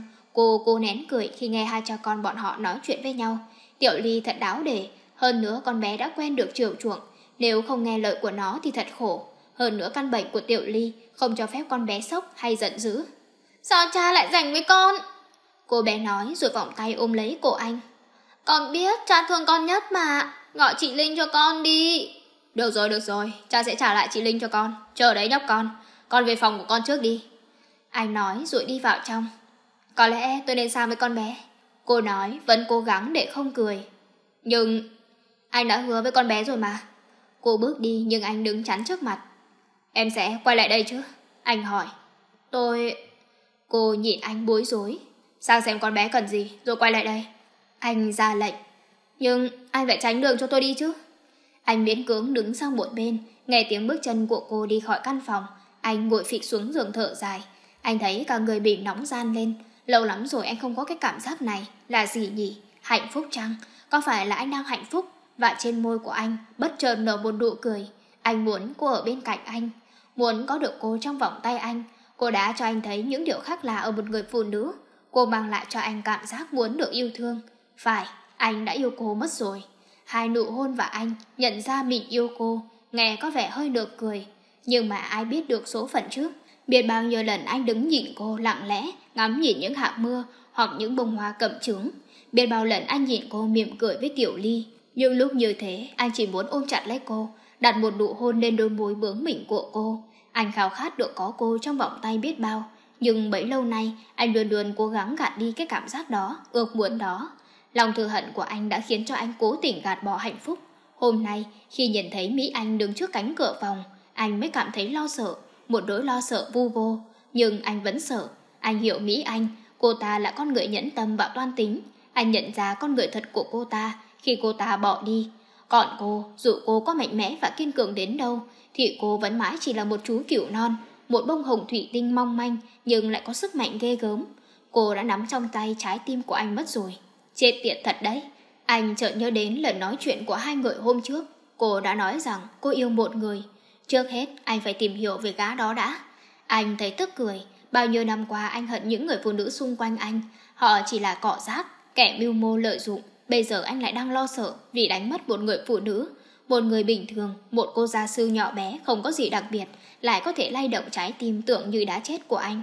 Tiểu Ly gọi cô sang phòng là có chuyện gì vậy? Anh bắt đầu cảm thấy bực bội khi mãi không thấy cô quay lại. Anh đứng dậy, đi đi lại lại trong phòng, hết nhìn về cửa ra vào, lại nhìn ra cửa sổ. Dù có mang lòng thù hận đến đâu, thì con người ta cũng không thể nào thoát khỏi ma lực của tình yêu, của trái tim. Anh Đoan mở cửa thì cánh cửa đã bật mở, cô bước vào, vừa bắt gặp ánh nhìn lộ liễu của anh. Có chuyện gì với Tiểu Ly thế? Anh hỏi. Con bé muốn tôi giúp nó cho đố chữ trên mạng thôi. Lâu đến như vậy sao? Anh chất vấn. Cô bé cần tôi ở đó, anh không cần phải chất vấn tôi. Cô bực bội mà quay đi, tránh ánh nhìn của anh. Lẽ ra cô đã có thể quên được, nhưng nụ hôn của anh, sự động chạm của anh lại khơi dậy những tình cảm, những khát khao trong cô. Không chỉ có con bé cần em, anh cũng cần em. Anh tiến gần cô, cô lùi lại, cô giữ một khoảng cách với anh. Bức tượng sau lưng đã phản bội cô, không cho phép cô bước tiếp nữa. Cô đứng chôn chân một chỗ. Em sợ tôi. Không. Cô lạnh lùng đáp. Vậy tại sao không nhìn thẳng vào mắt tôi? Tại sao em giữ khoảng cách với tôi? Anh chống tay lên bức tượng sau lưng cô. Anh... Nói cho tôi biết về người đó. Người em yêu. Tôi muốn biết về người đó. Không có ai cả. Tôi không yêu ai hết. Cô lạnh lùng đáp. Cô không muốn lộ ra rằng mình đang nói dối. Nhưng làm sao có thể nói với anh rằng người đó chính là anh. Em nói rồi. Chính em đã nói với tôi rằng em đã có người yêu. Hôm nọ lúc chúng ta nói chuyện với nhau, chính em đã nói như vậy. Tôi... Cô đã quên mất, đứng trước anh, cô không thể suy nghĩ thấu đáo được bất cứ chuyện gì. Nói, mau nói với tôi, với người đó. Tại sao lại muốn biết? Và tại sao tôi lại phải nói với anh chứ? Cô đẩy anh ra. Tôi tò mò một chút thôi. Anh đáp tỉnh bơ, nhưng kỳ thực trong lòng anh đang có bão. Anh ấy là người đàn ông đầu tiên tôi yêu. Đầu tiên và mãi mãi. Anh bất chợt hỏi, hỏi một cách vô thức. Em có biết tim tôi đau nhói, em có biết tôi đang gục ngã. Anh đã quen bị người khác bỏ rơi, anh cứ tưởng mình đã miễn dịch với những đau khổ. Nhưng không, tim của anh tại sao lại đau như thế này? Tôi có chút ý nghĩa nào với em hay không? Môi của anh nhếch lên thành một nụ cười cay đắng. Dĩ nhiên, anh không dại để cô nhìn thấy. Anh vừa mới tìm lại được con người thật của mình. Anh vừa mới khiến cho trái tim của mình thôi băng giá. Anh vừa mới nhìn cuộc đời bằng con mắt ít cay nghiệt. Anh ta thực sự hạnh phúc. Anh nói, không, anh ấy không yêu tôi. Anh ấy yêu người khác rồi. Cô nói giọng đệ chua xót và cay đắng. Tôi xin lỗi, có lẽ tôi không nên hỏi. Gã chết tiệt đó không biết mình vừa để mất điều gì. Tôi ra ngoài được chưa? Cô hỏi. Em không muốn ở bên cạnh tôi, đến như vậy hay sao? Thôi được rồi, em cứ ra ngoài đi. Tiếng cánh cửa đóng lại khu khốc trong không gian xung quanh. Anh đấm thật mạnh vào bức tường. Sức mạnh của anh không khiến bức tường suy chuyển, mà ngược lại, tay anh chạy máu. Anh ở lì trong phòng cả ngày. Đến chiều, tiếng gõ cửa lôi anh ra khỏi trạng thái tĩnh lặng.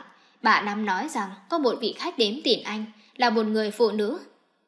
Có lẽ cậu để tự mình gặp người đó. Bà nói, thái độ lạnh lùng. Ai vậy? Anh hỏi đầy nghi hoặc cho thái độ của bà. HPT che là cô ấy. Tại sao lại là cô ấy? Chết tiệt. Anh vội chạy xuống nhà. À, Tiểu Ly và Linh đâu rồi? Họ đã đi ra ngoài rồi. Tiểu Ly đòi cô giáo dẫn nó tới hiệu sách mua bộ trò chơi xếp hình gì đó. Tốt, tôi không muốn Tiểu Ly gặp cô ta. Anh chạy xuống, thấy Mỹ Anh đang đứng đó, sự giận dữ trong anh lại trào lên. Cô tìm đến công ty tôi, giờ lại dám tới cả nhà tôi nữa, là sao? Bình, em xin anh, em trở về là để tạ tội với anh và con. Em luôn yêu anh và con mà. Em xin anh, hãy tha thứ cho em một lần thôi. Chúng ta sẽ làm lại từ đầu. Em yêu anh, em vẫn luôn yêu anh mà. Và em biết, anh vẫn còn yêu em mà, đúng không? Cô thực sự là trơ chén. Sao cô có dám nói đến chuyện yêu đương ở đây cơ chứ? Đúng, tôi thừa nhận, tôi yêu cô. Tôi yêu cô hơn chính bản thân mình. Tôi sẵn sàng vứt bỏ tất cả vì cô, kể cả danh dự và mạng sống của tôi. Ờ, xin lỗi, đã làm phiền. Tôi không biết là anh có khách. Tiếng nói cắt ngang khiến cho anh bàng hoàng. Anh quay lại nhìn cô và Tiểu Ly, con bé nhìn chằm chằm vào người đàn bà đang dạn dụa nước mắt. Cha, cô ấy là ai vậy? Con bé hỏi. Phương Ly, con... Bí Anh định chạy đến nhưng anh ngăn lại. Cô ấy là một người bạn của cha. Anh nhẹ nhàng nói rồi hướng mắt mình về phía cô. Em đưa con bé lên phòng trước đi. Anh khó nhọc thốt lên lời. Vâng, xin phép. Tiểu Ly, chúng ta đi thôi. Cô dẫn Tiểu Ly lên phòng, không ngoái lại nhìn anh lấy một lần. Người phụ nữ đó, bây giờ cô đã biết người phụ nữ đó là ai. Những lời nói của anh cô đã nghe hết. Mỹ anh, chị ấy thật đẹp, rất xứng đáng với anh. Anh yêu chị ấy phải thôi. Nhưng câu nói ấy như cứa vào trái tim của cô, cắt nát tim của cô thành từng mảnh. Hoàng Bình, anh đã thừa nhận rằng anh còn yêu em cơ mà. Mỹ Anh xúc động. Tôi thừa nhận là tôi có yêu cô, nhưng chỉ là đã từng, đã từng yêu cô, chứ không còn yêu cô nữa. Bây giờ trái tim của tôi đã chết, tôi không còn yêu cô nữa, không có một chút tình cảm nào với cô nữa. Với tôi bây giờ, sợi dây ràng buộc duy nhất giữa chúng ta chính là Tiểu Ly. Vì sao cô cũng đã là người sinh ra con bé? Thế tại sao anh không để em gặp con bé? Chưa phải lúc, con bé sẽ bị sốc. Bệnh của nó, cô biết mà. Cô ấy, có phải anh vì cô ta? Mỹ Anh là người thông minh, cô đã thấy cách anh nhịn cô ta. Anh chưa từng nhịn cô theo kiểu đó, dù là trước kia, lúc họ vẫn còn yêu nhau. Bây giờ thì càng không. Anh nhịn theo cô ta đến khi cô đi hết cầu thang. Ánh nhìn của anh chứa đầy nỗi lo lắng, sợ hãi khi cô ta xuất hiện. Nhưng cô cảm thấy khao khát của anh dành cho cô ta. Anh đã yêu cô ta. Cô hiểu người đàn ông này, anh đã từng là chồng cô, từng là người đàn ông mà cô yêu. Không, dù có cô ấy hay không thì cũng thế thôi, tôi vẫn hận cô. Tình yêu của tôi dành cho cô đã chết từ kể giây phút cô bước ra khỏi căn nhà đó. Cô bỏ lại tiểu lý chưa đầy một tuổi. Còn nữa, tôi không muốn cô đến gần con bé. Nhưng con bé là con gái của em. Nhưng cô đã bỏ rơi nó. Cô chỉ sinh nó ra thôi. Một người mẹ không phải chỉ sinh ra một đứa trẻ, mà còn phải nuôi nấng dạy dỗ và yêu thương nó nữa. Còn cô, cô đã bỏ rơi nó khi nó bệnh tật, nghèo khó. Cô không xứng đáng là mẹ của nó. Em xin anh, Em chỉ muốn gặp con bé một lần thôi mà. Thì cô đã gặp rồi đây thôi. Em chỉ muốn nhìn kỹ nó, nói chuyện với nó. Dù sao em cũng là mẹ của nó. Không bao giờ, hãy tránh xa con gái tôi. Còn bây giờ, mời cô ra khỏi nhà tôi. Cô không được phép có mặt ở đây. Những giọt nước mắt trào ra không thể kìm nén. Dù đã biết trước điều này, dù đã biết trước trái tim anh không thể nào thuộc về mình, cô vẫn thấy tim mình quá đau. Khi nghe những câu nói ấy, cô chỉ ước sao mình tan biến vào không khí, Ước sao mình chưa bao giờ đặt chân đến đây Ước sao mình không gặp anh Không yêu anh. Những giọt nước mắt cứ thế tuôn trào Mà cô không cách nào ngăn cản. Tiếng gõ cửa vang lên Cô không muốn gặp ai trong lúc này. Nhưng tiếng gõ cửa dai dẳng không dứt Cô đành lau nước mắt mở cửa. Anh đang đứng trước mặt cô? Có chuyện gì vậy? Cô hỏi. Em khóc, có chuyện gì sao? Không có, bụi bay vào mắt chút thôi. Anh tìm tôi sao? Tôi... cô ấy là... là mẹ của Tiêu Ly. Tôi đã nghe thấy hai người nói chuyện. Chuyện không như em nghĩ đâu. Tôi đâu có gì để nói chứ. Vậy thì tại sao em lại khóc? Tôi đã nói là bụi bay vào mắt mà. Tại sao lạnh ngằng thế chứ? Cô gắt gỏng. Không, bụi không thể khiến mắt em đỏ hoe như thế kia. Rõ ràng em vừa mới khóc. Có phải là vì người đó? Anh cậu mong cho cô nói khác với những gì anh đang nghĩ. Không. Anh thở vào khi nghe cô trả lời. Tôi chợt thấy buồn vui vu vơ thôi. Chị ấy, người phụ nữ đó. Đừng nhắc đến cô ta. Tôi không muốn nhắc đến người phụ nữ bội bạc và nhẫn tâm đó. Nhưng anh yêu chị ấy mà. Tôi yêu cô ấy. Phải, tôi đã từng yêu cô ấy rất sâu đậm. Muốn cho cô ấy tất cả mọi thứ trên đời này. Tôi sẵn sàng tự bỏ mạng sống của mình vì cô ấy. Tôi tôn thờ cô ấy như một nữ thần. Không bao giờ muốn cô ấy phải đau khổ. Nhưng tất cả đó chỉ là quá khứ. Tôi không thể tha thứ cho cô ấy nữa. Vì cô ấy đã phản bội tôi. Cô ấy không thể chịu đựng được cảnh nghèo khó. Cô ấy không muốn chăm sóc cho đứa con bị bệnh. Có thể chị có nỗi khổ tâm nào đó thì sao? Dù có đau khổ đến đâu, cũng không có một người mẹ nào có thể nhẫn tâm bỏ rơi đứa con mới sinh của mình như vậy. Vậy mà cô ta thì lại như vậy đấy. Tôi hận cô ta. Vì chị ấy mà anh hận tất cả phụ nữ. Tự nhốt mình vào trong cái bọc bọc của mình. Chẳng nhẽ vì hận một người phụ nữ anh đã từng yêu mà anh có thể khiến cho bản thân của mình trở nên như vậy. Như thế nào? Lạnh lùng, khó đoán, nhẫn tâm. Em nghĩ tôi nhẫn tâm sao? Anh cười. Lần đầu tiên cô thấy anh nở một nụ cười đúng nghĩa. Bé con, em vẫn còn cây thơ lắm. Em sẵn sàng bỏ qua cho những người đã cướp mất của em tất cả mọi thứ vì họ hứa giữ lại ngôi nhà cho cha mẹ em. Nhưng lại nói với tôi nhẫn tâm chỉ vì tôi hận một người phụ nữ mà tôi từng yêu. Thì đúng như vậy còn gì? Bố tôi thường nói người đàn ông khiến phụ nữ phải khóc là người nhẫn tâm nhất trên đời này. Cô cái lại, quên mất rằng mình vừa hứa sẽ quên anh đi. Vậy thì chắc tôi là kẻ nhẫn tâm nhất trên đời này, có phải hay không? Anh bước đến gần cô, kéo cô vào trong vòng tay của mình. Anh định làm cái gì? Cô dặn ra khỏi anh đề phòng, nhưng anh thì giữ cô quá chặt. Em không được yên được một chút hay sao? Anh cúi xuống đặt lên môi cô một nụ hôn. Ngay trong giây phút này, trong vòng tay anh, cô đã quên đi tất cả. Trên thế giới bây giờ chỉ còn lại anh và cô. Hai trái tim khao khát gọi tên nhau, nhưng chủ nhân của chúng lại cố che giấu. Phải chăng vì cái tôi quá lớn của hai người đã áp đặt lên con tim, không cho phép đôi môi thốt ra lời yêu thương đó. Giá như tôi biết được em đang nghĩ gì, giá như tôi nhìn thấy trái tim của em, giá như tôi có thể hét lên với em rằng tôi yêu em, giá như em hiểu tôi, yêu em biết bao nhiêu, giá tôi có thể bóp nát trái tim mình, bắt nó thôi yêu em.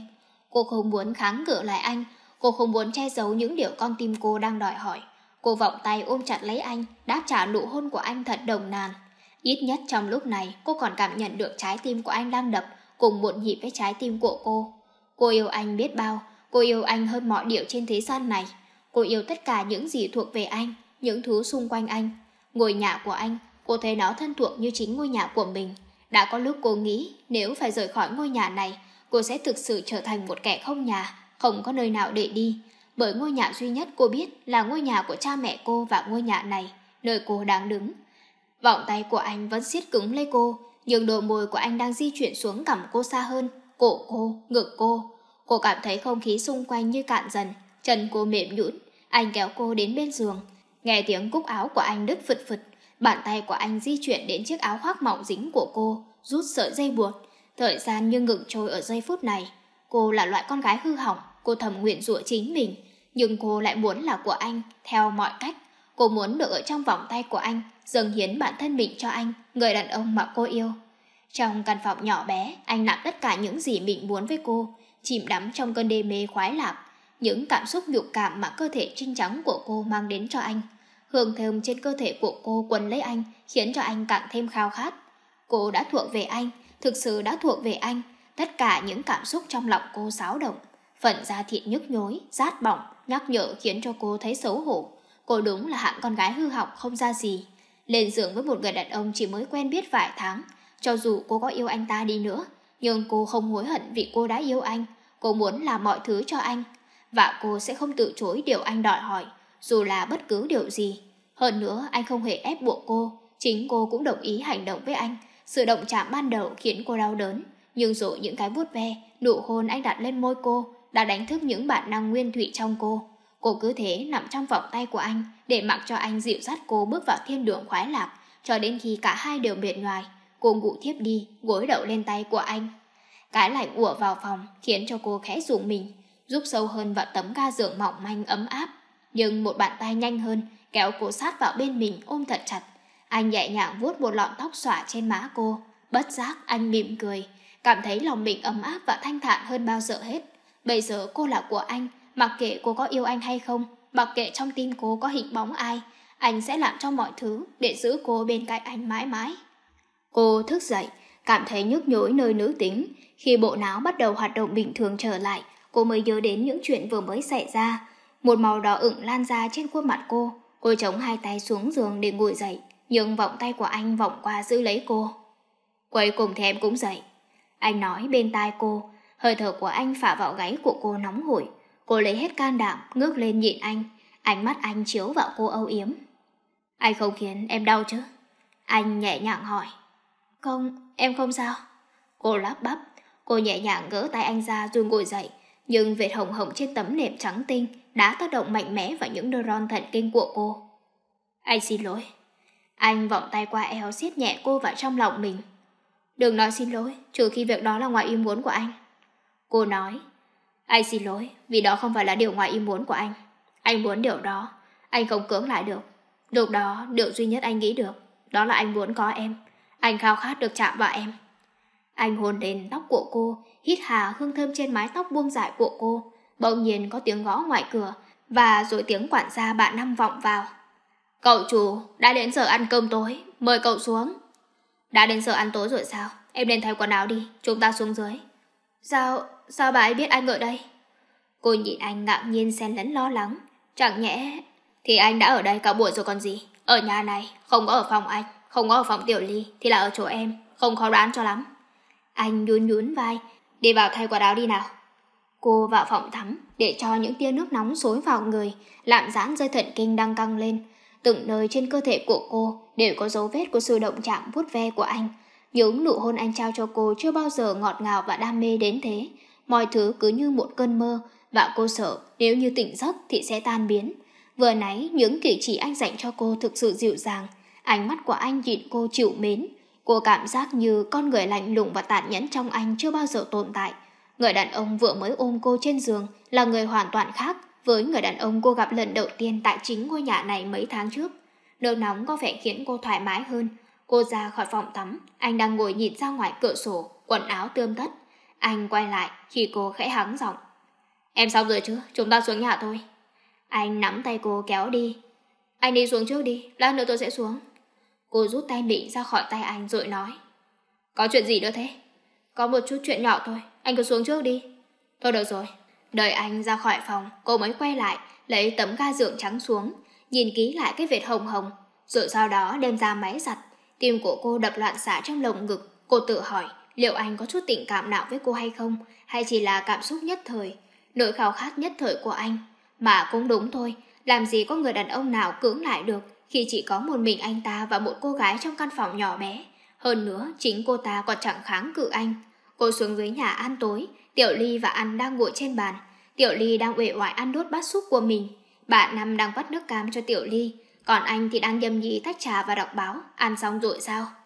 Cháu gái, ngồi xuống ăn tối đi, làm gì trên đấy mà lâu thế? Bà Năm nói khi đưa cho cô một bát cơm. Dạ, bác không ăn sao? Ta ăn xong rồi, tại cháu ở trên đấy lâu quá mà. Bà mỉm cười hiền từ, rồi quay lại với quả cam đang vắt dở. Chị Linh, lát nữa lên phòng chơi với em nhé. Tiểu Ly thay đổi thái độ từ vẻ oại sang hăn hái khi thấy cô. Ừ, em thích trò chơi đó, đến thế kìa. Cô mỉm cười hỏi. Vâng, vui hơn khi trên máy tính nhiều. Trên máy tính, thỉnh thoảng lặp lại mấy câu, trời mãi cũng chán.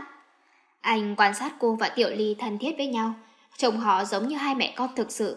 Nhưng anh cảm thấy bực bội vì từ nãy tới giờ, chỉ có anh để ý đến cô, còn cô thì cứ nói chuyện với Tiểu Ly, chẳng chú ý gì tới anh.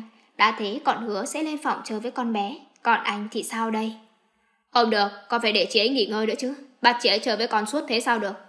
Cha lạ thật đấy, chị ấy là cô giáo của con, bảo mẫu của con, bạn của con mà. Dĩ nhiên phải chơi với con rồi. Con bé đáp tỉnh mơ. À, đúng rồi, Cả buổi chiều nay, từ lúc tới hiệu sách về tới giờ, em chẳng thấy chị đâu cả. Chị sao lại cứ ở lì trong phòng? Cô suýt sặc canh nóng khi nghe con bé nói, mặt đỏ ửng. Bà Năm ném về cô ánh mắt đầy hàm ý và nụ cười bí hiểm, khiến cô bối rối. Cô lén nhìn anh nhưng vội quay đi khi bắt gặp ánh nhìn của anh. Cha, cả cha nữa, hình như hai người có gì đấy giấu con. Cô bé vẫn không tha cho cả hai người. Con lo bạn nốt đi, à cho nói trước, lát nữa chị Linh không thể tới chơi với con được đâu, con tự chơi một mình đi.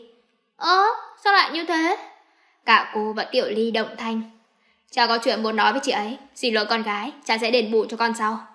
Anh mỉm cười đứng dậy. Lát nữa ăn xong, lên phòng gặp tôi. Anh nói rồi đi thẳng lên cầu thang. Hừ, chán cha ghê, lại phải chơi một mình rồi. Tiểu Lý cũng bỏ lên phòng, mang theo ly nước cam của mình. Cô rụt rè gõ cửa phòng anh, chẳng ai ra mở cửa. Rõ ràng anh bảo cô lên phòng gặp anh cơ mà. Gõ lại lần nữa, vẫn chẳng thấy ai ra mở cửa. Cô qua phòng Tiểu Ly một lát rồi về phòng mình. Cô suýt nữa hét lên khi thấy anh đang đứng trong phòng mình. Sao, sao lại ở đây? Cô lấy lại tinh thần rồi hỏi anh. Anh bảo em ăn xong, lên phòng gặp anh mà. Tại sao em đi lâu thế? Lại qua chỗ Tiểu Ly chứ gì? Anh biết ngay mà. Anh nói một hồi. Nhưng mà anh bảo tôi lên phòng anh cơ mà. Anh bảo em lên phòng gặp anh, chứ không bảo em lên phòng anh. Nhưng anh nói rõ ra thì tôi mới biết được chứ. Được rồi, là lỗi của anh. Với lại, anh không gọi em lên đây để nói chuyện chuyện phòng ốc. Anh muốn nói chuyện của hai chúng ta. Chuyện chúng ta? Ý anh là gì? Chúng ta phải kết hôn thôi, em phải lấy anh. Tại sao chứ? Tại vì anh đã lấy đi sự trinh trắng của em. Tôi không phải là hạng đàn bà dù đàn ông lên giường để ép anh ta kết hôn với mình. Anh không nói em dụ dỗ anh, là lỗi của anh. Anh đã phá hỏng đời con gái của em. Hơn nữa, anh phải có trách nhiệm với con của mình. Em đủ thông minh để biết rằng bây giờ bầm bóng của anh đang lên lên trong em chứ. Chuyện đó anh không phải lo, tôi sẽ tự giải quyết. Có con hay không là chuyện của tôi, tôi sẽ làm mà không liên lụy đến anh. Cô đáp trong khi trái tim đau nhói. Cái gì? Em định bỏ con hay sao? Em định phá thai? Anh rít lên ầm ầm. Anh bị điên sao? Anh nghĩ tôi là loại người nào chứ? Ý tôi là tôi sẽ tự nuôi nó, không liên quan gì đến anh hết. Còn tôi tôi nuôi. Vậy em có đồng ý kết hôn với anh hay không? Không. Tại sao? Tôi không muốn. Nếu em không muốn thì cũng phải cho anh một lý do chứ. Bỗng nhiên khuôn mặt của anh trở nên u ám, giọng anh bỗng chậm xuống. Có phải em không muốn lấy tôi vì vẫn còn yêu người đó? Không phải vậy. Vậy thì tại sao? Anh ép sát cô vào tường, ánh mắt chết chóc. Cô cảm nhận được sức nặng của anh trên người mình. Tôi không thể lấy một người mà không yêu tôi. Anh chỉ muốn có trách nhiệm với tôi. Cô đã quá mệt mỏi, cô không muốn phải che giấu nữa. Phải, anh không yêu cô, anh chỉ muốn có trách nhiệm với cô. Nhưng cô lại không muốn như vậy. Cô yêu anh và muốn anh cũng yêu cô như vậy.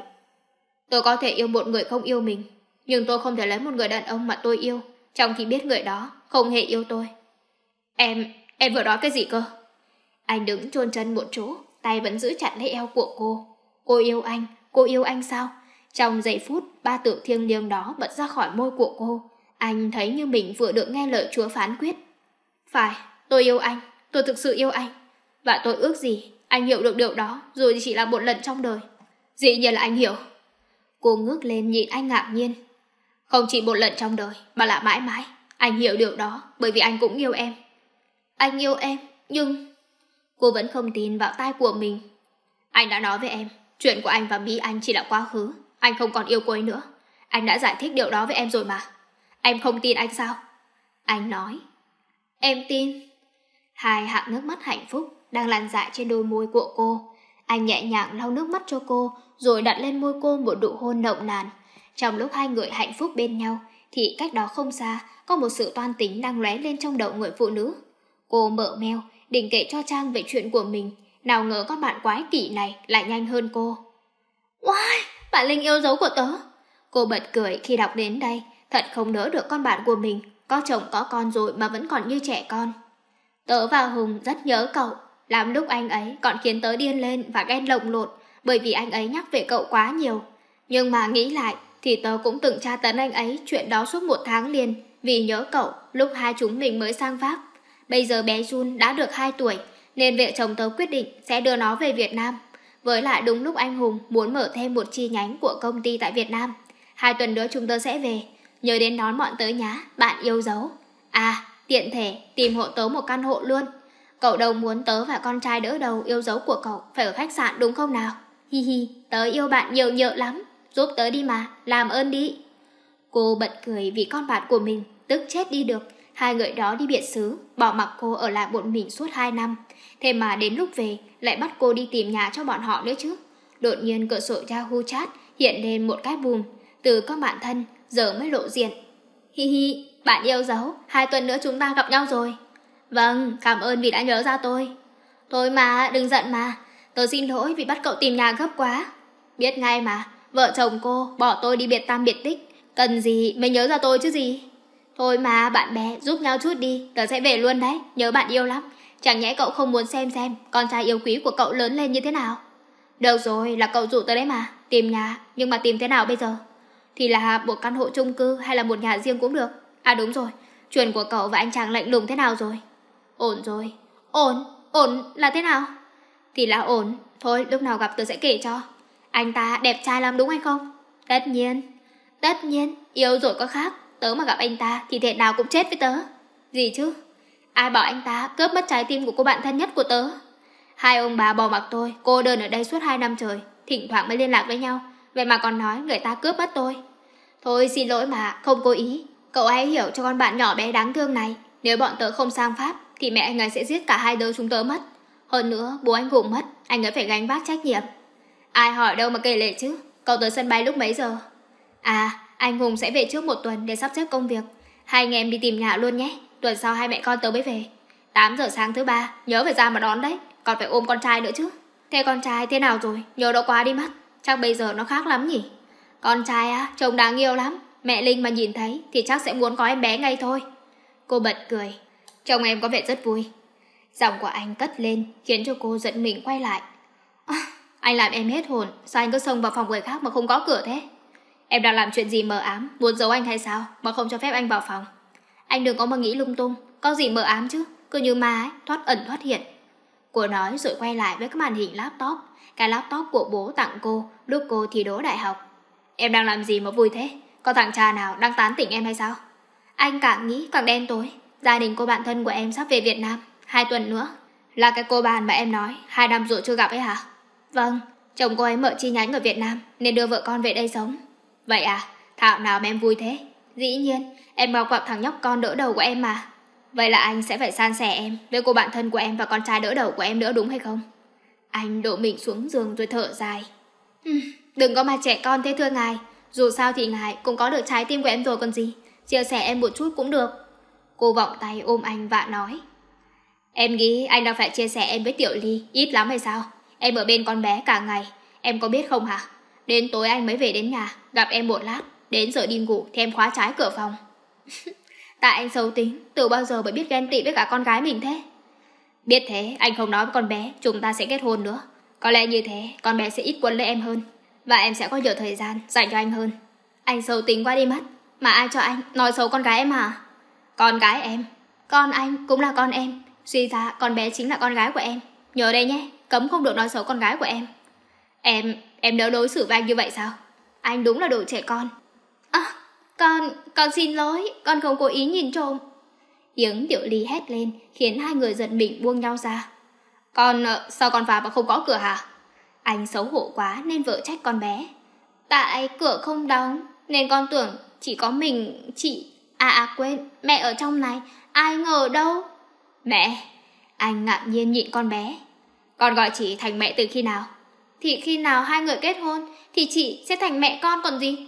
Lúc đầu hơi ngượng miệng, nhưng rồi cũng quen. Mà ra đường, người ta tưởng chị, à quên, mẹ là mẹ con thật đấy. Lần sau vào phòng, nhớ gõ cửa đấy, nhớ chưa? Anh nói. Anh vào phòng không đóng cửa, còn nói gì nữa? Cô quay ra trách anh. Tại sao lại là anh? Hai người hùa vào đánh hội đồng anh đấy à? Trời ơi, sao tôi khổ thế này? Anh kêu thảm thiết, cả cô và Tiểu Ly cũng lăn ra cười. Anh đứng ngoài, cơn tức dân đến tận cổ khi nghe tiếng gọi của cô con gái và vợ chưa cưới. Nhưng anh cũng cảm thấy hạnh phúc lần nữa. Lần đầu tiên trong đời, anh cảm nhận được sự ấm áp của gia đình. Anh hạnh phúc vì có cô trong đời. Vì nhờ cô mà Tiểu Ly có thể cười. Nhờ cô mà Tiểu Ly có một người mẹ, một gia đình đúng nghĩa.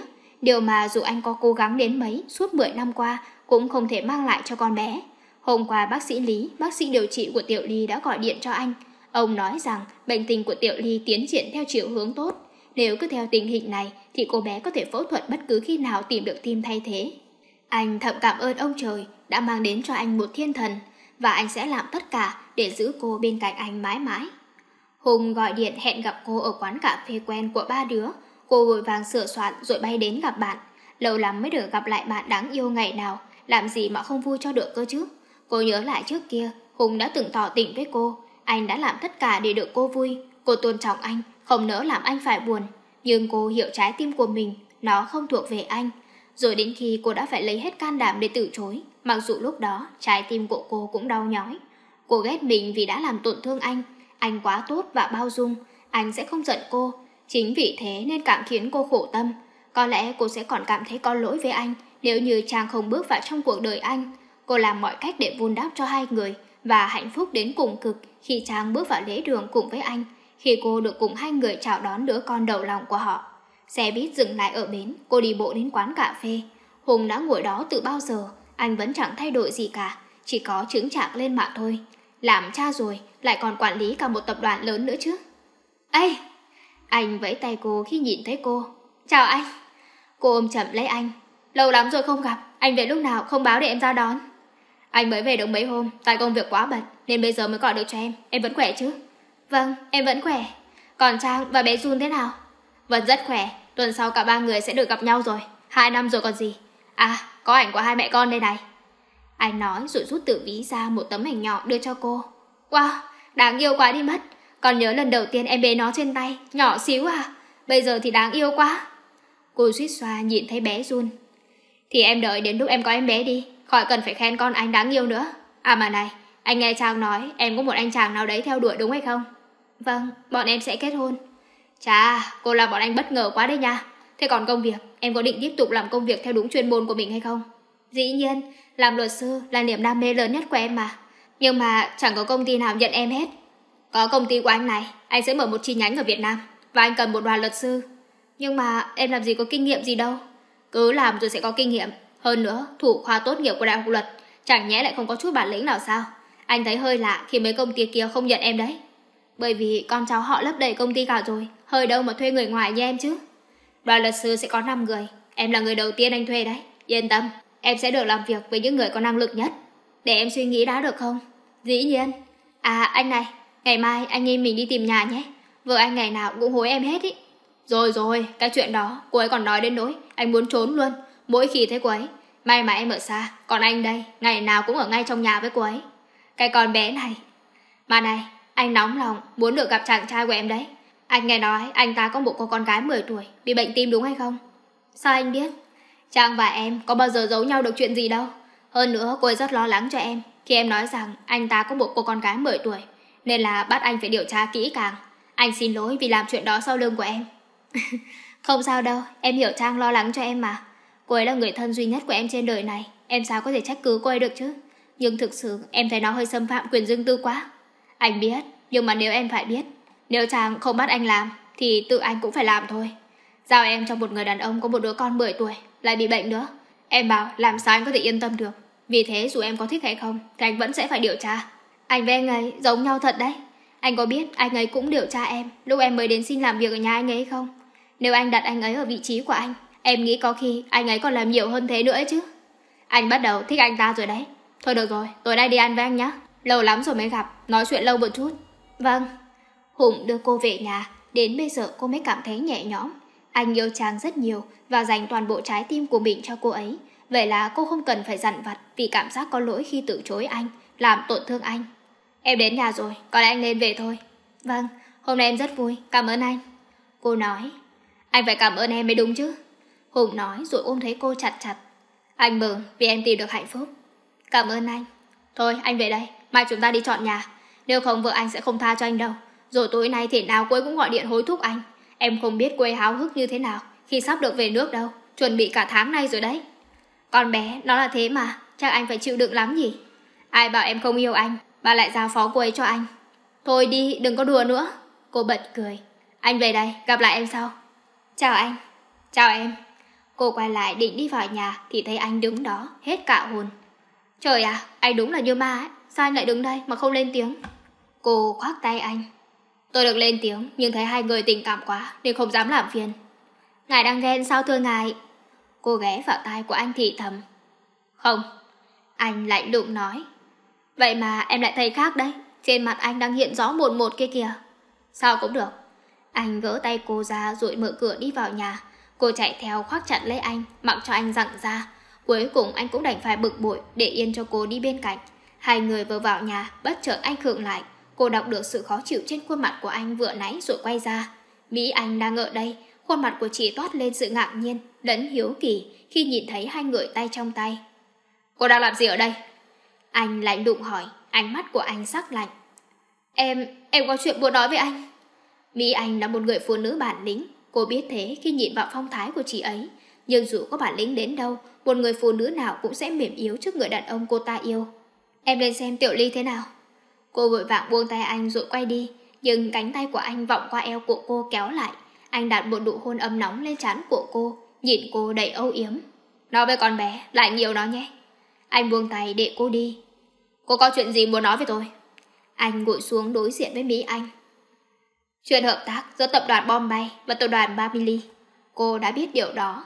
Ngay từ lần đầu tiên gặp cô gái ấy, ánh mắt của anh không rời cô ta. Anh nhịn cô ta không chớp mắt. Cứ như thế nếu anh chớp mắt thì cô ta sẽ biến mất. Anh đã không còn là của cô nữa rồi. Hoàng bình của cô, giờ anh đã thuộc về người con gái khác. Cô hiểu mình không còn cơ hội để cứu vãn được tình cảm của hai người. Chính cô đã phá hỏng nó, chính cô đã rời xa anh. Phải, chính cô đã tự bị đánh mất hạnh phúc. Ngày mai cô có thể tới công ty cơ mà. Tôi không tiếp đối tác và khách hàng ở nhà. Em biết, nhưng mà em muốn gặp riêng anh một lần nữa. Anh... Đừng nói gì hết. Thú thực, tôi không còn muốn giận cô nữa. Nhưng như thế không có nghĩa là tôi tha thứ. Mong cô đừng tới đây, đừng làm xáo động cuộc sống của tôi và Phương Ly. Em rất muốn được gặp con bé. Làm ơn, em xin anh. Tôi cần thời gian để nói chuyện với con bé. Nhưng tôi không chắc tôi sẽ làm được gì. Con bé không thể bị sốc. Em có thể chờ mà. Em nghe nói anh sẽ kết hôn. Đúng vậy. Với cô ấy. Phải, với cô ấy. Anh hạnh phúc chứ? Tất nhiên. Cô cay đắng khi nghe câu trả lời của anh. Cô hiểu người đàn ông đang ngồi trước mặt cô. Bây giờ không còn là Hoàng Bình trước kia nữa. Trái tim của anh đã thực sự rung động trước cô gái ấy. Chúc mừng anh. Cảm ơn. Anh không nghĩ mọi chuyện lại trở nên nhẹ nhàng như thế, không còn sự hận thù căm ghét trong lòng. Từ ngày cô đến, mọi chuyện trong đời anh đã đi theo chiều hướng khác, không còn luận quẩn trong cái vòng không lối thoát, không còn phải che giấu mình trong vỏ bọc ngụy tạo, không còn phải gồng mình với những thứ xung quanh. Có vẻ như mọi thứ đều đơn giản hơn khi nhìn cuộc sống với con mắt bao dung. Mà phải rồi, anh cần biết cái gã vừa đưa cô về là ai, tức chết đi được, dám ôm nhau trước cửa nhà như thế. Cô không có ở trong phòng, chắc là lại ở phòng tiểu ly. Hai người lúc đó càng lúc càng thân thiết, không khéo anh cuối cùng lại bị con gái và vợ chưa cưới cho ra rìa. Trong nhà này, rõ ràng anh là kẻ yếu thế nhất, phụ nữ chiếm số đông, còn anh thì lại đơn thương độc mã. HPT che Cha tưởng giờ này con ngủ rồi chứ? Anh nói. Con đang chuẩn bị đi ngủ, cha hôn con đi. Anh đã đặt một đủ hôn lên trán của con bé. Ngủ ngon nha con yêu. Anh khẽ thì thầm. Chúc cha mẹ ngủ ngon. Con bé nói rồi nhắm mắt lại, chìm dần vào giấc ngủ. Anh nhịn cô. Ra ngoài thôi. Đến phòng anh. Anh thì thầm với cô. Chị ấy về rồi sao? Cô hỏi khi anh đóng cửa phòng. Ừ, không có chuyện gì chứ. Không, nói chuyện bình thường thôi mà. Anh không còn cái cảm giác căm ghét cô ta nữa. Với anh, cô ta bây giờ chỉ là một người phụ nữ bình thường. Anh có định nói chuyện này với Tiểu Ly hay không? Anh không biết, không biết phải nói như thế nào với con bé. Anh đã trốn tránh câu hỏi của con bé quá nhiều năm rồi. Tiểu Ly cần thời gian, cả anh cũng vậy. Em biết để quên đi những chuyện này, thật sự là khó khăn. Nhưng dù sao chị ấy cũng vẫn là mẹ của con bé. Họ là mẹ con. Dù anh có làm gì đi nữa, cũng không thể thay đổi được sự thật này. Dòng máu đang chảy bên trong người con bé, cũng có một phần của chị ấy. Thôi không nói chuyện này nữa, mau cho anh biết, gã ta là ai, cái gã mà em ôm ấp thân mật ấy. Đừng có mang độ cơn ghen như thế. Cô mỉm cười đến bên anh. Anh ấy là chồng của cô bạn thân nhất của em. Anh ấy mới về nước được vài hôm, hẹn gặp em nói chuyện thôi mà. Hắn là người như thế nào? Đừng có mà đang nghi như vậy, anh ấy là người tốt. Và... và sao? Em nói chuyện này nhưng mà anh không được ghen nhé. Chuyện gì? Anh nghi hoặc nhịn cô. Trước đây anh ấy đã từng yêu em. Cái gì? Anh bật dậy nhưng bị cô giữ lại. Bình tĩnh nào, đó là chuyện của trước kia. Bây giờ thì anh ấy là chồng của người bạn thân nhất của em rồi. Em có yêu anh ta chứ hả? Anh nghĩ cái gì vậy? Cô bật cười. Anh ấy tỏ tình với em nhưng mà bị em từ chối. Em chỉ cảm thấy mình có lỗi với anh ấy. Vì vậy em mới cố sức buôn đáp cho anh ấy và bạn em. Ai ngờ đâu hai người bọn họ nhanh đến thế. Em chỉ coi anh ấy như là anh trai mà thôi. Vậy thì tốt. Nhưng dù là ai, cô không được bậy bạ mà ôm như vậy đâu đấy. Bạn bè hay anh trai gì, cũng thế mà thôi. Bây giờ em lại phát hiện ra, hai người có thêm một điểm chung nữa đấy. Ngày mai em phải đi tìm nhà cùng anh ấy. Anh chịu khó cô đơn vài hôm nhé. Ngày nào mà anh chẳng thế, em có quan tâm đến anh đâu. Suốt ngày tiểu ly, tiểu ly. Anh tưởng có em, anh sẽ không phải suốt ngày với cái bản mặt đáng ghét của thằng bạn công việc. Cuối cùng thì đâu vẫn vào đấy. Một ngày được gặp em nhiều nhất là hai tiếng đồng hồ. Được rồi, thật sự anh đang muốn nói cái gì nào? Cô hẳn là đã nhận ra ẩn ý trong câu nói của anh. Đêm nay hãy ở lại phòng anh được không? Anh thị thầm trong hơi thở gấp gáp của mình. được, em yêu anh. Chỉ chợ có vậy, anh vòng tay bế thốc cô lên giường, để mặc cho những cảm xúc yêu thương đang tuôn trào, thấm đấm tự ngóc ngách trên con người của anh. Vòng tay của cô quấn quanh cổ anh, vỏ mái tóc của anh rối bù, hơi ấm của cô chuyển sang, khiến cho trái tim của anh đập rộn ràng khúc hát yêu thương. Những nụ hôn ngọt ngào đánh thức nỗi khát khao cháy bỏng trong anh. Sự kìm nén bấy lâu nay vỡ òa trong bản tình ca ngọt ngào của vũ điệu ân ái. Thế giới bây giờ là của hai người, không đau khổ, không hận thù, không có nước mắt. Chỉ có tình yêu họ trao cho nhau, vòng tay ấm áp của cô quấn lấy anh.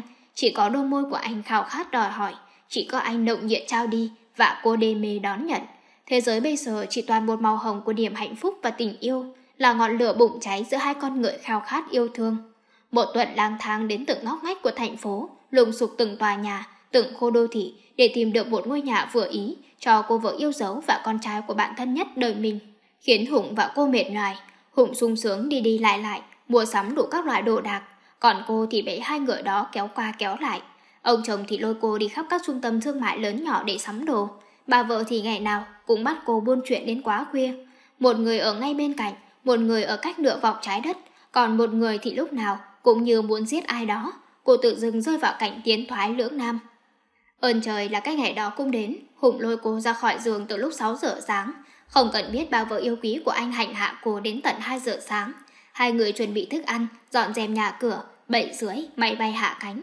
Hùng nhấp nhộp không thể đứng yên một chỗ. Anh cứ đi đi lại lại, thỉnh thoảng lại nhìn về phía phòng cách ly. Được rồi, được rồi, anh đừng yên một chỗ cho em nhờ một cái nào, chóng hết cả mặt. Bây giờ chưa đến 8 giờ, bọn họ còn phải làm thủ tục nữa chứ. Sắp 8 giờ rồi, tay nôn nóng quá. Anh gãi đầu, lại tiếp tục ngoái đầu về phòng cách ly. Một tuần rồi, em không được yên với hai người đâu đấy. Nếu không vì con trai yêu quý của em, thì em đã cho hai người một trận rồi. Ơ, kia rồi. Hùng hét lên, khuôn mặt lộ gió vẻ sung sướng như đứa trẻ được quà.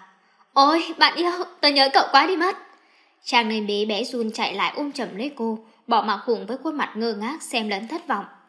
Anh cũng phải chờ em từ sáng tới giờ, xem lại nỡ lòng đối xử với anh như vậy. Hừm, thôi đi, bọn em hai năm mới được gặp nhau, còn anh mới có một tuần không gặp mà. chàng nói thế nhưng cũng ôm lấy anh thật chặt và đặt một nụ hôn lên môi của anh. Bé Jun, lại đây với mẹ nào. Cô rời tay ra khi chàng đưa thằng bé cho cô, nhìn thằng bé thật đáng yêu làm sao. Nó khác quá, cô nói. Lúc mới sinh mới có 2 tuổi thì phải khác nhau chứ. chàng nhẹ nhẹ đáp. Thôi, đi về nhà rồi nói chuyện. Hùng xách hành lý, sau đó tháp tụng hai người phụ nữ và thằng bé con ngoan ngoãn chạy như con mèo trên tay Linh. Một ngày bên cạnh Trang và Hùng thật vui vẻ và âm cúng, trừ lúc phải trả lời hết câu hỏi này đến câu hỏi khác của con bạn thân về anh thì mọi thứ đều tuyệt vời. Cô biết Trang lo lắng cho mình từ khi còn nhỏ, ngoài cha và mẹ ra thì Trang luôn luôn bảo vệ cô. Với cô, Trang không chỉ là một người bạn mà còn là chị gái. Và bây giờ, cô ấy chính là người thân duy nhất trên đời này của cô. Lúc ra về, chàng cứ bắt cô phải ở lại bằng được, nhưng cô phải từ chối, vì cô biết Hoàng Bình sẽ nổi điên thực sự nếu tối nay cô lại bỏ mặc anh nữa. Suốt một tuần qua, cô thậm chí còn chẳng khi nào gặp mặt anh. Tiểu Ly thì chỉ có khi con bé học bài mới được gặp cô.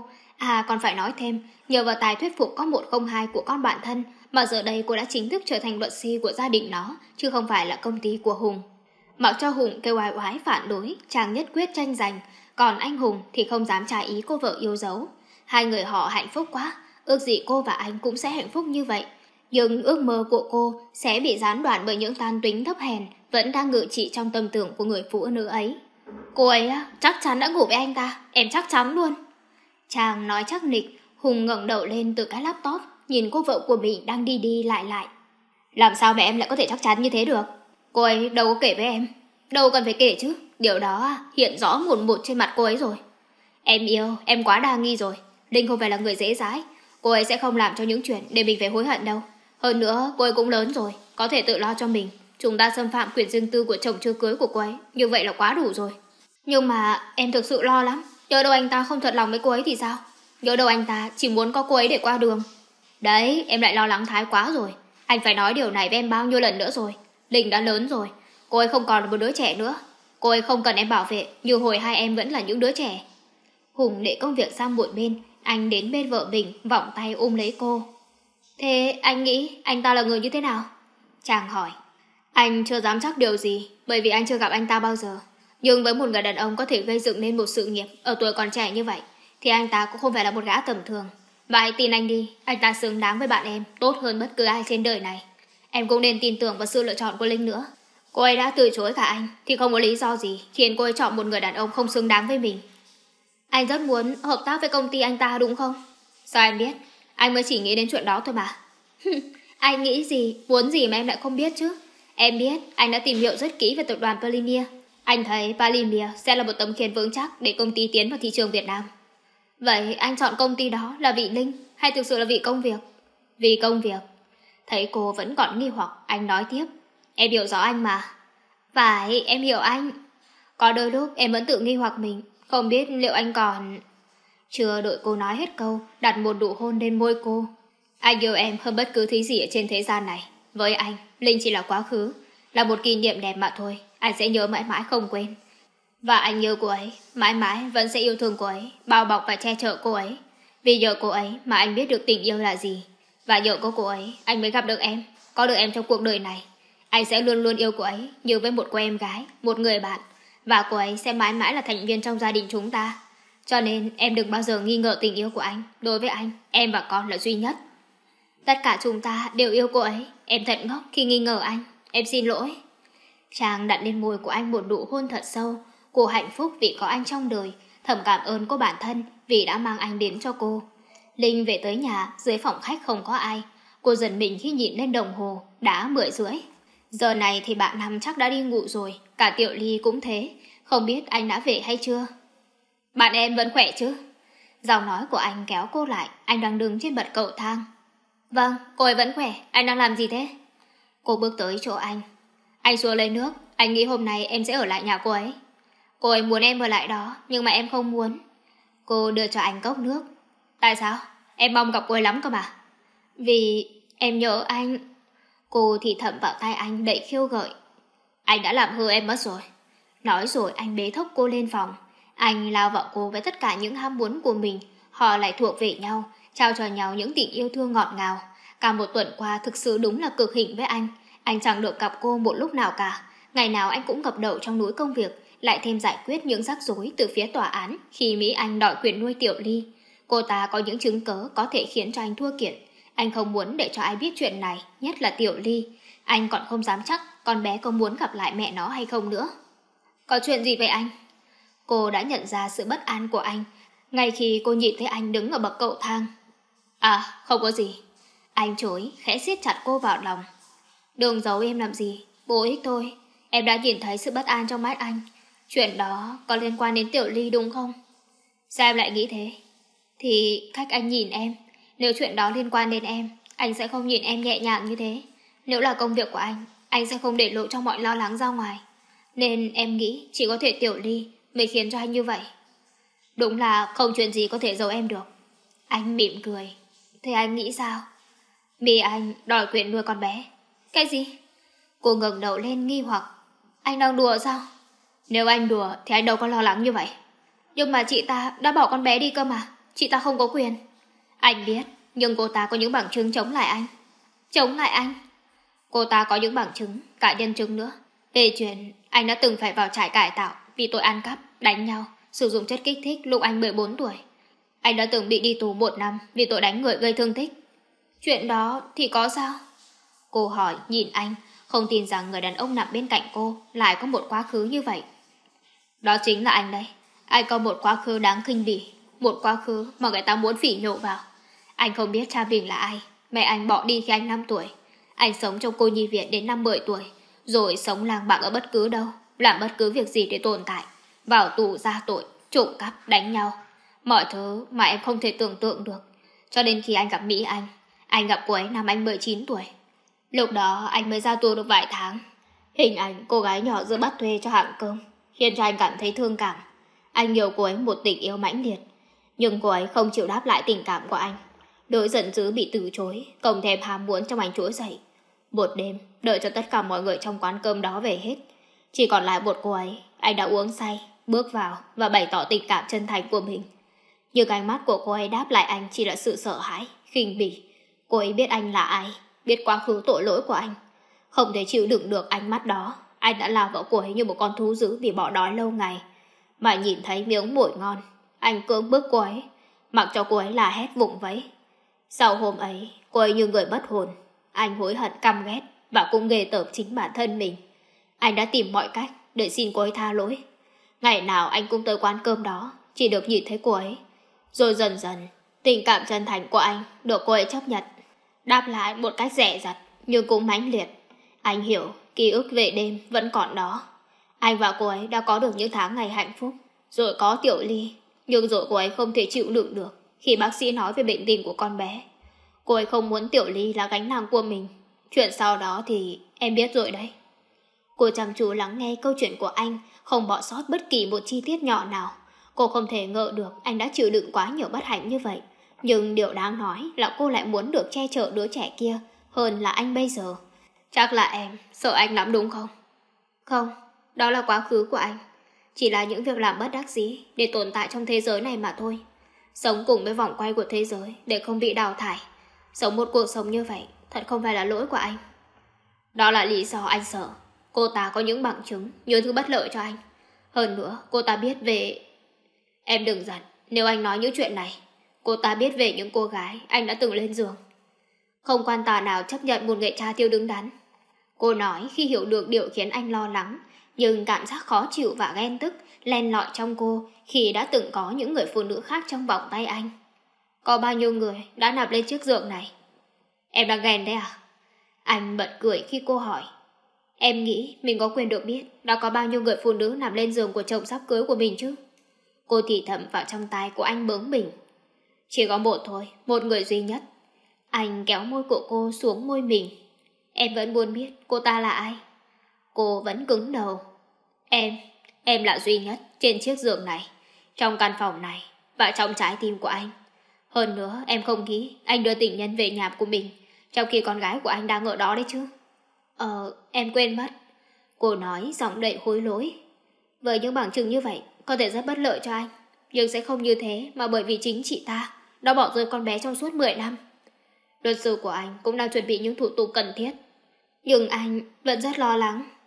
Đúng vậy em yêu, anh thực sự sẽ phát điên lên mất nếu như bây giờ anh không có em ở bên cạnh. Cô mỉm cười khi nhìn thấy sự tin tưởng của anh dành cho cô. Nói cho em biết, đêm đó, đêm đầu tiên của chúng ta, nếu như em đẩy anh ra, nếu như em kháng cự lại anh, thì anh sẽ làm gì? Anh không biết, nếu như em cự tuyệt anh, có lẽ anh sẽ bỏ chạy thật xa khỏi em. Tại sao chứ? Cô nhíu mày. Bởi vì nếu như anh không bỏ chạy, anh sẽ lại cưỡng bức em.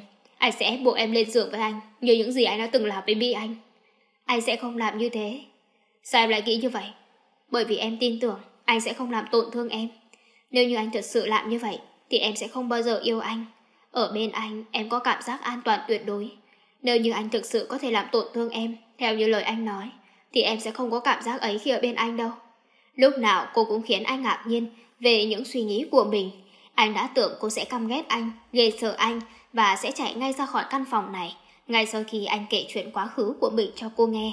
Anh đã che giấu nó bởi vì anh sợ cô sẽ ghét anh. Nhưng đến khi Mỹ Anh nói cô ta muốn tranh giành tiểu ly với anh và cô ta có những bằng chứng, anh đã lo sợ việc Mỹ Anh sẽ nói với cô những chuyện đó. Nếu vậy, anh muốn mình là người nói với cô. Thả cô căm ghét anh, còn hơn phải nhìn thấy cô bị Mỹ Anh lấy ra làm công cụ cho cô ta toàn tính. Anh cảm thấy ghê sợ người phụ nữ đó. Cô ta không còn là cô bé làm thuê hiền lành, đáng thương mà anh đã từng yêu thương nữa, mà là một người phụ nữ đầy đoan tính và nhẫn tâm. Mới sáng sớm mà Lý Minh, luật sư của anh đã đi đi lại lại dưới phòng khách, vẻ mặt đầy lo lắng chờ đợi Bình xuất hiện. Anh nhẹ nhàng ra khỏi phòng, để không khiến cô thức giấc. Đêm qua, cô đã thức cùng với anh, chia sẻ cùng anh, an ủi vỗ về anh, cho đến khi cơn buồn ngủ ập đến, cương quyết không tha cho cô. Cô mới chìm vào trong giấc ngủ, còn anh thì thức trắng nguyên đêm, bật dậy ngay sau khi ông luật sư gọi mình. Hoàng Bình Ông luật sư nói khi nhìn thấy anh, trên khuôn mặt vẫn hiện rõ nỗi lo âu. Mọi chuyện vẫn ổn chứ? Anh hỏi. Tôi e rằng sẽ phải nói khác đi. Không ổn, thực sự không ổn một chút nào. Lý Minh nói. Không ổn như thế nào? Sự bình tĩnh của anh khiến cho Lý Minh ngạc nhiên. Ông không chỉ là luật sư mà còn là bạn của anh. Ông hiểu rõ anh. Anh luôn luôn có thể điều chỉnh những cảm xúc của bản thân mình. Cô ta đã yêu cầu luật sư của mình tìm ra những cô gái mà cậu đã lên giường. Cô ta muốn mua chuộc họ. Thông minh lắm. Cô ta mua chuộc để họ nói rằng cậu đưa tất cả bọn họ về nhà, trong khi con gái của cậu đang ở nhà. Vô ích thôi, bà Năm và Tiểu Ly không công nhận điều đó. Nhưng có thể che giấu mà, bà Năm không ở bên cạnh cậu mỗi đêm. Chết tiệt, cô ta cũng tính trước khi những cô gái đó không dùng được rồi. Ý ông là gì?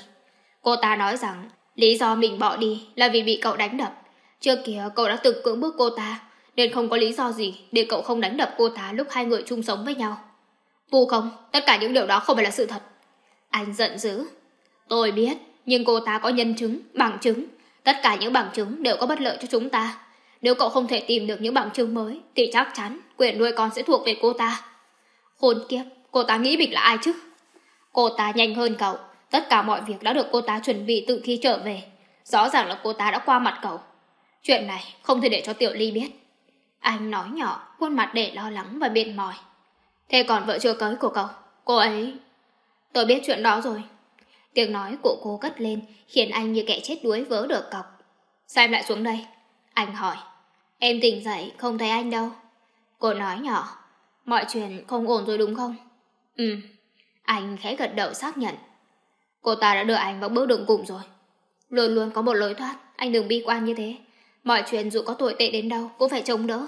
Tiểu Ly cần anh, con bé yêu anh. Anh biết điều đó mà, phải không? Cô ấy nói đúng đấy. Ông trời không tuyệt được của ai bao giờ. Lý Minh cất tiến ủng hộ cô, nhưng từ nãy tới giờ ông đang quan sát cô, bởi vì trông cô rất quen. Đây là lần đầu tiên hai người bọn họ gặp nhau, nhưng thực sự trông cô rất quen. Tiểu Ly chưa dậy đúng hay không? Anh hỏi cô. Vâng, anh muốn lên thăm con bé một lát. Anh nói rồi đứng lên. Cô nhìn anh đi hết cầu thang khẽ thở dài. Những chuyện anh đang phải chịu đựng, cô ước gì mình có thể chịu đựng thay anh. Nhìn anh lo lắng đến vậy, cô không đành lòng. Trái tim cô như bị ai đó bóp nghẹt. Còn Tiểu Ly, con bé từ lâu đã quá đỗi thân thiết với cô. Cô cũng giống như anh, không muốn mất đi con bé. Cô yêu nó ngay từ lần đầu tiên hai người gặp gỡ. Xin lỗi cô. Ông cất lời. Tôi chưa bao giờ gặp cô đúng không? Tôi là Lý Minh, luật sư của gia đình. Tôi là Dương Ngọc Linh, chắc ông biết tôi là ai? Cô mỉm cười nói, cảm thấy người đàn ông này thật dễ mến. Cô họ Dương sao? Chẳng hay cô có quen biết với ông Dương Ngọc Lâm? Ông không định hỏi thế, chỉ tại nhìn cô quá quen. Đó là cha tôi, ông quen biết ông ấy sao? Cô ngạc nhiên hỏi lại. Cha cô và tôi là bạn hồi đại học, có cả mẹ cô nữa, ba chúng tôi rất thân thiết. À, cô nhớ ra, cháu đã từng nghe cha nhắc tới chú một vài lần, nhưng sao cháu chưa bao giờ gặp chú?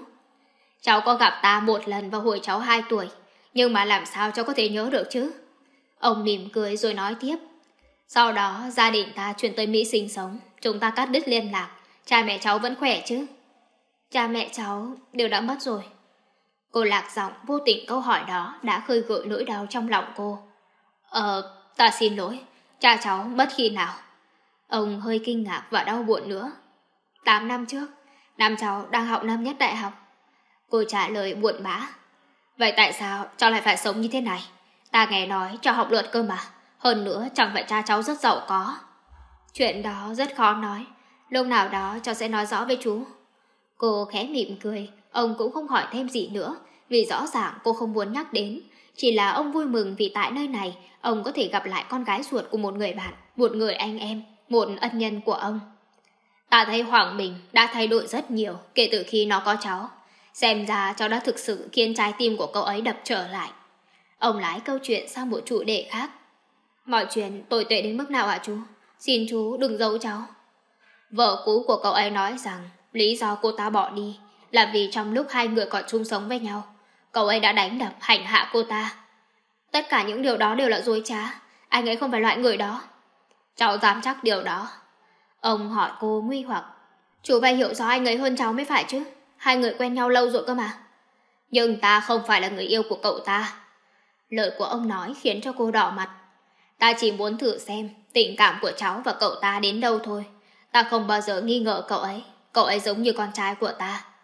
Cái anh ấy quan tâm cháu, không giống một người mà chú nói. Cô nhịn lên phía cậu thang và nói. Lần này cậu ta sẽ phải đối mặt với khó khăn thực sự. Nhưng mà tao cho rằng sẽ không khó khăn để vượt qua khi cậu ấy đã có cháu bên cạnh. Thôi, ta phải đi. Chúng ta cần nhiều thêm chứng cớ nữa.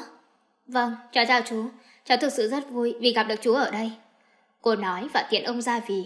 Cô lên phòng của Tiểu Ly, anh vẫn còn đang ở đó. Cô nhẹ nhàng bước vào để không phá hỏng giây phút thiêng liêng của hai người. Anh đang ngắm nhịn con bé, ánh mắt của anh ánh lên tình yêu vô bờ bến. Cô hiểu anh yêu con bé nhiều đến như thế nào. Nếu ai đó mang con bé đi khỏi anh, thì chắc chắn anh sẽ sụp đổ mất. Nhất là khi người đó lại chính là Mỹ Anh. Một người phụ nữ không chỉ làm tổn thương anh, mà còn lấy đi niềm hy vọng của anh.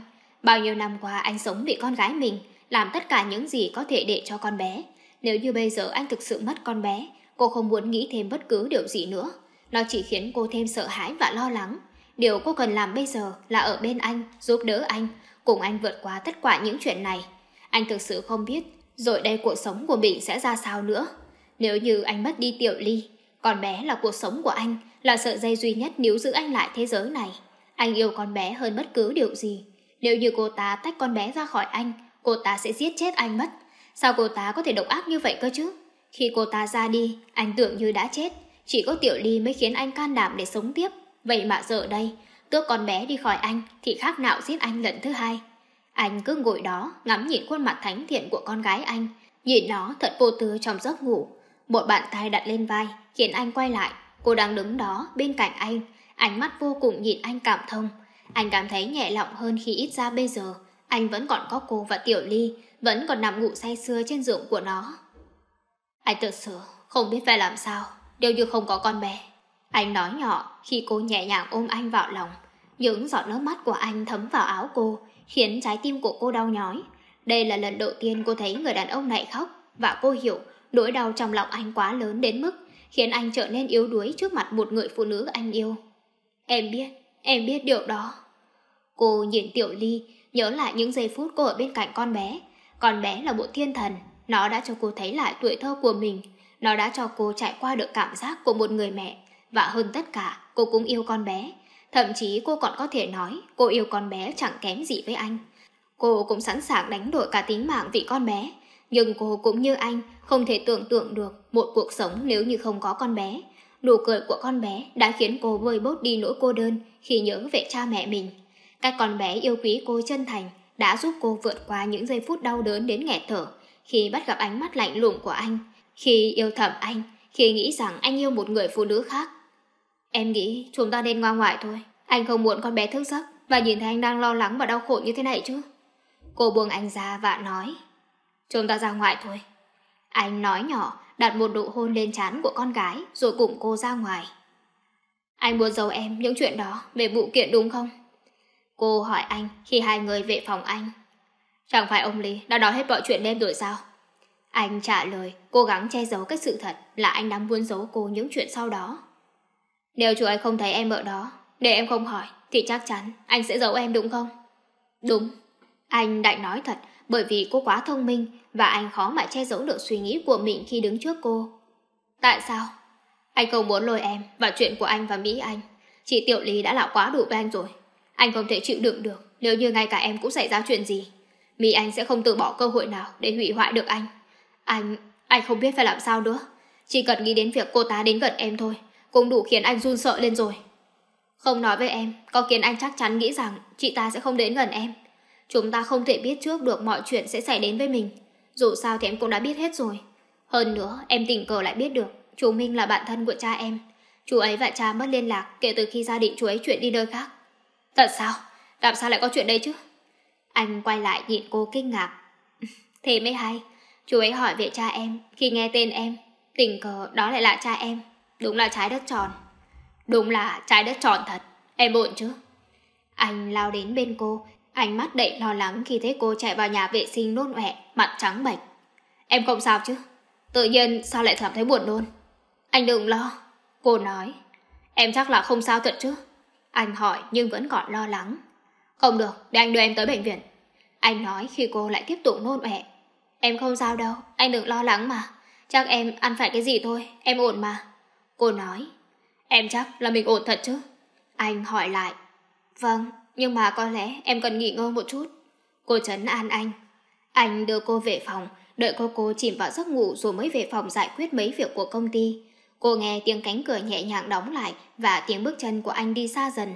Dạo này cô buồn ngủ kinh khủng, cô ghét mùi thức ăn và chu kỳ của cô đã chậm mấy ngày. Cả người ngu ngơ nhất cũng có thể hiểu được điều kỳ lạ đó. Hạt giống của anh đang từng ngày, từng ngày lớn lên trong cơ thể của cô. Khám phá mới khiến cho cô vừa mừng vừa lo. Cô hạnh phúc vì đã mang đứa con của anh. Cô muốn được làm mẹ của con anh hơn bất cứ điều gì. Nhưng bây giờ không phải là lúc để nói đến chuyện này. Đứa bé sẽ khiến cho anh bối rối. Chuyện của Tiểu Ly anh cần phải giải quyết ổn thỏa. Anh không cần thiết phải có thêm một gánh nặng nữa. Có lẽ đứa bé sẽ phải chờ thêm một thời gian nữa. Bây giờ cô cần tận hưởng niềm hạnh phúc được làm mẹ. Cái cảm giác mới mẻ và kỳ lạ. Cô tự hỏi khi mẹ cô mang thai cô, bà sẽ như thế nào? Cô cảm nhận được một sự kết nối, một sinh linh nhỏ bé đang lớn dần trong cơ thể của mình. Cô cảm nhận được nhịp đập của trái tim mình, của đứa bé hòa vào làm một. Tất cả đến với cô thực sự lạ lắm, nhưng cũng thật kỳ diệu. Cô đang ngồi trong quán cà phê của Trang và mình lúc còn học đại học. Hôm nay Trang gọi điện rủ cô ra đây. Con bé này thật là hẹn người ta lúc 8 giờ, vậy mà bây giờ 8 rưỡi rồi, cũng chưa thấy đâu. Cô thở dài ngao ngán, còn bạn thân vẫn chẳng thay đổi một chút nào. Cô quay ra ngoài, mỉm cười khi thấy con bạn thân hớt hà hớt hải chạy đến. Không cần phải dọa tớ, tớ nhìn thấy cậu đã chạy vào đây rồi. Cô nói khi biết con bạn đang đứng sau mình, chuẩn bị hộ cô. Hừm, chán chết đi được, lại bị phát hiện. Trang ngồi xuống, mặt ỉu xìu. Cái trò này á, tớ quen rồi. Ai bảo hồi đi học đại học, dọa cho lắm vào. Sao, hôm nay hẹn tôi ra đây, bắt người ta đợi từ lúc 8 giờ, bây giờ 8 rưỡi mới đến, là sao hả? Cô nói, thì còn phải đánh vật với ông trời con nhà mình để cho nó ăn hết bữa sáng. Thế Jun đâu rồi, sao cậu không đưa nó đi cùng? Anh Hùng ở nhà trông nó rồi, được ngày ông chồng bận rộn nghỉ ở nhà, phải bóc lột một tí chứ. Chàng nở nụ cười gian gian. À, cô thợ dài. Sao tự dưng tôi thấy có lỗi với anh Hùng khi đẩy anh ấy đến với cậu thế chứ? Này này này, cái bà kia. Chàng nhảy dựng lên. Chồng tôi là trai có vợ rồi đấy nhá. Đùa thôi, ai làm gì đâu mà. Sợ ghê chưa, giữ chồng thế đấy. Cô bật cười rũ lên vì thái độ của con bạn thân. Bình tĩnh đi nào, uống nước đi cho hạ hỏa. Rồi vẫn không ngưng cười. Mà hôm nay hẹn tớ ra đây, có việc gì? Mới 5 giờ sáng đã gọi điện. Tớ nghe nói vợ cũ Hoàng Bình đã về đây rồi đúng hay không? Trang hỏi. Sao cậu biết việc đó? Cô nhìn con bạn thân. có cái gì mà tớ không biết. Với lại cô ta là trợ lý của tập đoàn Bombay. Lần này việc cô ta đến đây rất được các doanh nghiệp quan tâm. Họ rất muốn có cơ hội hợp tác với tập đoàn đó mà. Có cái gì trên đời này mà cậu không biết không? Cô nhìn con bạn thân và nói. Chuyện gì đó mà cậu đang giấu mình? Chàng đã nhận ra sự khác lạ ở cô bạn thân. Mình có làm gì đâu mà giấu cậu. Cô chối, nhưng cơn bợn nôn lập tức ập đến khiến cô phải chạy vội vào nhà vệ sinh. Cậu ổn chứ? Chàng hỏi đầy lo lắng khi cô trở ra. Ừ, tớ ổn. Thật chứ, nhưng mà tớ lại thấy không ổn chút nào đâu. Có gì thì nói ngay đi. Chàng dọa nạt, và cô biết sớm muộn gì Trang cũng biết mà thôi. Dù sao thì cô ấy cũng đã có một nhóc 2 tuổi rồi cơ mà. Thật ra thì tớ đang có thai. Cái gì cơ? Trang nói lớn khiến cho mấy vị khách trong quán phải quay lại nhìn. Thôi nào, bình tĩnh đi, cậu đang khiến mọi người để ý đến mình đấy. Cô nói vội rồi kéo con bạn ngồi xuống. Làm sao mà bình tĩnh được chứ? Tự dưng con bạn thân nhất của tớ nói rằng nó đang có thai. Trong khi đó, ông chồng sắp cưới thì đang vướng vào vụ kiện tụng tranh giành quyền nuôi con vợ cũ. Trời ơi là trời, cậu giết tớ đi. Tớ đoán đúng mà, tớ đã biết khi cậu ở nhà với tớ. Mà tớ đã biết cậu và anh ta còn có gì đó. Nhưng mà một đứa trẻ thì không. Ôi trời ơi, cha mẹ ơi. Trang lầm bầm một hồi khiến cô không nhịn được cười khi thấy thái độ của con bạn. Có cái gì mà đáng cười chứ? Trang nói lớn khiến cho cô đành ngậm miệng lại, cô nén cười. Mà này, anh ta đã biết gì chưa? Tớ chưa muốn cho anh ấy biết, bây giờ anh ấy đã có đủ chuyện đau đầu rồi. Đợi đến khi mọi chuyện trở lại quỹ đạo của nó, tôi sẽ nói với anh ấy. Thế là hôm nay phải ăn mừng rồi đúng không? Trang lấy lại bình tĩnh và cô nàng rất hí hưởng với cái tin này. Về nhà tôi nhé. À quên, được mấy tháng rồi, đã đi bác sĩ chưa? Tôi mới tới bệnh viện hôm qua, bác sĩ nói là em bé được 2 tháng rồi. Mà này, cậu biết từ bao giờ thế? Hồi trước tôi còn đến 4 tháng mới biết cơ mà. Trang xoa xoa cách cặp nghĩ ngợi. Tại hồi cậu mang thai, tôi suốt ngày ở nhà cậu, đọc một đống sách về phụ nữ mang thai của anh Hùng. Mà cậu mang thai có bị nghén đâu Còn tớ đây thì mới tháng thứ hai Mà đã nghén lên nghén xuống rồi đây này Ơ thế mà cái ông Bình đấy lại không phát hiện ra à Trang trọn mắt. Thì anh ấy nghĩ tớ bị ốm, đàn ông mà, làm sao mà biết được mấy chuyện này chứ? Nhưng mà anh ta cũng có một đứa rồi còn gì.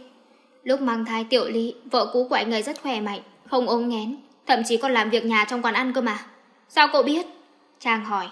Thì anh ấy kể lại với tớ. Ờ, ờ, quên mất. Thôi bây giờ về nhà tớ đi, ngồi ngoài này chán lắm. Mà tớ buồn khoe với anh Hùng, chuyện này quá đi mất. Ơ, người mang thai là tớ, chứ đâu phải cậu, mà nhìn cậu còn hí hưởng háo hức hơn cả tớ nữa kìa. Cô nói khi con bạn thân kéo cô ra ngoài. Thì tớ vui mà, đi thôi.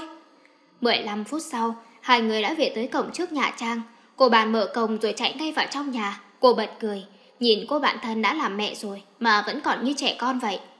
Anh! Trang hụ một phát khiến chồng cô giận mình phải ngước lên từ cái máy tính. Đoán xem ai tới kìa. Linh chứ gì, việc gì phải đoán. Sáng nay em để anh đánh vật với con trai yêu quý của em rồi đi chơi với cô bạn thân. Anh nói rồi dạ vợ giận dỗi. Linh hắng giọng từ ngoài cửa khiến hai người quay lại. Em phải đính chính lại là em không phải là người lôi cô vợ xinh đẹp của anh ra khỏi nhà mà ngược lại chính là cô ấy lôi em tới quán cà phê và bắt em đợi hơn 30 phút nha. Hùng cười phá lên vì cái vẻ hại hước trong mắt của Linh. Thôi thôi, không nói chuyện này nữa, bây giờ phải vào chủ đề chính thôi. Hôm nay em sẽ mở một bữa tiệc nho nhỏ để liên hoan, chúc mừng cô bạn thân của chúng ta sắp được làm mẹ. chàng tuyên bố đầy tự hào. Cái gì? Em có thai sao? Bây giờ đến lượt Hùng bị sốc. Vâng, cô nhẹ nhàng đáp với một nụ cười hạnh phúc. Vậy dạ, ra lại em nói đúng. Anh ghé vào tai vợ của mình thì thầm. Đấy, em đã nói mà, anh không nghe em cơ. Trực giác của phụ nữ tốt lắm. Trang đáp lại. Này, hai người thì thầm gì to nhỏ thế? Bỏ quên tôi rồi à? Cô nói. Mà con trai của em đâu rồi, sao không thấy nó? Ờ, anh xin lỗi. Bé Jun ngủ rồi, anh phải đánh vận với nó cả buổi để thay một bộ quần áo. Cuối cùng thì cu cậu cũng lăn ra ngủ. Em xin lỗi vì để anh phải đánh vật với con. Đừng giận mà. Trang lạm đúng. Hay là bây giờ chúng ta đi chuẩn bị một bít tiệc nho nhỏ để chúc mừng Linh đi. Thôi được rồi, anh thua em rồi. Anh giơ tay lên đậu hàng, nhìn Linh thở dài khiến cho cô bật cười khúc khích. Còn Trang thì chắc chắn vẫn còn đang mơ mộng về đám cưới của bé Jun và con của cô. Lúc trên xe có bạn thân cứ thao thao bất tuyệt về chuyện ghép đôi cho hai đứa trẻ mà rõ ràng con của cô còn chưa ra đời. Trai hay gái còn chưa biết, huống gì nói đến chuyện kết hôn. Và cái bữa tiệc nho nhỏ ngoài trời theo lời Trang nói, có đủ cho một loại gia đình có chục người ăn, khiến cho Hùng phải đi đi lại lại chuẩn bị đủ thứ. Cô và Trang làm mấy món ăn ở trong bếp, ngoài trời là anh Hùng lo. Cậu định bắt cả nhà ăn hết chỗ này thật đấy à? Cô hỏi khi nhìn lại chỗ thức ăn họ đang chuẩn bị. Hết ngay thôi, anh Hùng nhà tớ ăn khỏe lắm. Trang trả lời tỉnh bơ, thừa còn hơn thiếu. Trời đất! Cô thầm than thở, hồi còn đi học, cái hộp cơm của Trang lúc nào cũng có biết bao nhiêu món ăn, nhiều đến nỗi bữa trưa cô khỏi cần mang cơm đi. Giải quyết cuộc Trang hết bữa trưa của cô bạn cũng đủ khiến cho hai đứa no căng. HPT cô ở lại nhà Trang đến tối mới về. Cô bạn dặn dò đủ thứ, mặc cho cô nói là cô đã đọc đủ sách khi mang thai rồi. chàng dặn đi dặn lại, bắt cô phải nhắc lại chính xác đến từng từ. Nó còn hăm dọa sẽ không bao giờ nhìn mặt cô nếu như cô không ăn uống đúng giờ, không ngủ đủ giấc. Cuối cùng anh Hùng phải yêu cầu cô vợ yêu quý của mình để cho cô trở về. Cô muốn gặp anh, cô nhớ anh, tự hỏi không biết mọi chuyện có tiến triển gì mới hay không. Giờ này anh đang làm gì? Chiếc xe đỗ trước cổng nhà, cô cảm ơn chú tài xế của Hùng rồi bước vào. Cánh cổng xanh quen thuộc, nơi lần đầu tiên cô gặp anh. Cô vào nhà, anh đang ngồi ngựa mặt trên ghế sofa, mắt nhắm nghiền, chán anh nhăn lại thành những nếp nhăn. Trên bàn là một chai rượu mạnh vơi quá nửa. Cô đến ngồi bên cạnh anh, khẽ chạm vào cánh tay của anh. Những nếp nhăn trên trán từ từ giãn ra. Anh mở mắt nhìn cô. Anh đưa tay vuốt ve gò má của cô, ánh mắt chứa đầy sự mệt mỏi. Rồi anh cúi xuống chạm môi mình lên môi cô, và thế giới xung quanh anh không còn gì cả. Chỉ có vị ngọt đôi môi của cô đang chiếm hữu từng tế bào thần kinh trong anh. Một lúc sau đó anh rời khỏi môi cô. Anh yêu em. Anh nói nhỏ chỉ đủ để cho cô nghe thấy. Em biết. Cô mỉm cười, nhẹ nhàng nói với anh, rồi với tay đến chai rượu đang uống dở trên bàn. Anh không phiền nếu như em cất nó đi chứ? Cô hỏi anh tinh nghịch khiến anh bật cười. Tất nhiên, với điều kiện, em phải thay vào vị trí của nó. Anh nói rồi trả sát môi mịn lên môi của cô thêm một lần nữa. Hôm nay là có chuyện gì nữa sao? Cô hỏi khi quay lại bên cạnh anh. Hôm nay anh đã gặp cô ta. Anh nói vẻ mặt cay đắng hiện rõ trên khuôn mặt. Dù cho có căm ghét cô ta đến đâu, anh cũng không thể ngờ cô ta lại đáng sợ đến mức ấy. Cô ta đã dùng chính con gái ruột của mình để ép anh. Chị ấy đã nói với anh những gì? Cô hỏi, nỗi sợ hãi và lo lắng dâng lên trong lòng cô. Cô sợ điều mà anh sắp nói ra. Cô ta buồn quay lại. Cô ta nói nếu quay lại thì anh sẽ không phải xa Tiểu Ly. Còn nếu không, khi cô ta thắng kiện, cô ta sẽ đưa con bé sang Mỹ và anh sẽ mất con bé. Hoặc nếu không như vậy, anh phải bán lại hợp đồng của Palimbia với công ty xây dựng Kirosai. Mất hợp đồng đó, công ty sẽ thua lỗ. Mặc dù không đến mức phá sản, nhưng những thiệt hại của nó sẽ không dễ được khắc phục. Chị ta dùng con bé để đổi lấy một hợp đồng kinh tế sao? Cô không thể tin vào tai mình những điều anh vừa kể. Làm sao lại có một người phụ nữ có thể đem con của mình rứt ruột đẻ ra để trao đổi trong một vụ làm ăn? Phải, cô ta đã dồn anh vào ngõ cụt rồi. Thế anh định làm như thế nào? Cô hỏi anh, trái tim đậm liên hoàn. Anh sẽ cho cô ta một cái hợp đồng chết tiệt đó. Anh nói, anh đã suy nghĩ kỹ chưa? Mất hợp đồng đó, công ty cũng sẽ rất khó khăn. Vẫn còn có cách khác mà. Không được, anh sẽ không bao giờ quay lại với cô ta đâu. Anh gặn giọng. Và anh sẽ không dễ dàng gì để em tuột khỏi tay anh đâu. Anh đã suy nghĩ rất lâu rồi và đó là quyết định của anh. Ngày mai, anh sẽ gọi điện cho Lý Minh và bàn bạc về chuyện này. Suy nghĩ kỹ với một chai rượu mạnh đã vơi quá nửa. Em nghĩ anh nên để sáng mai thì tốt hơn. Anh nên suy nghĩ kỹ thêm một đêm nữa. Anh sẽ làm thế, nhưng đấy chỉ là vì em thôi đấy. Mọi thứ đã được quyết định rồi. Cô nhìn anh, cô biết Palimia là đứa con tinh thần của anh.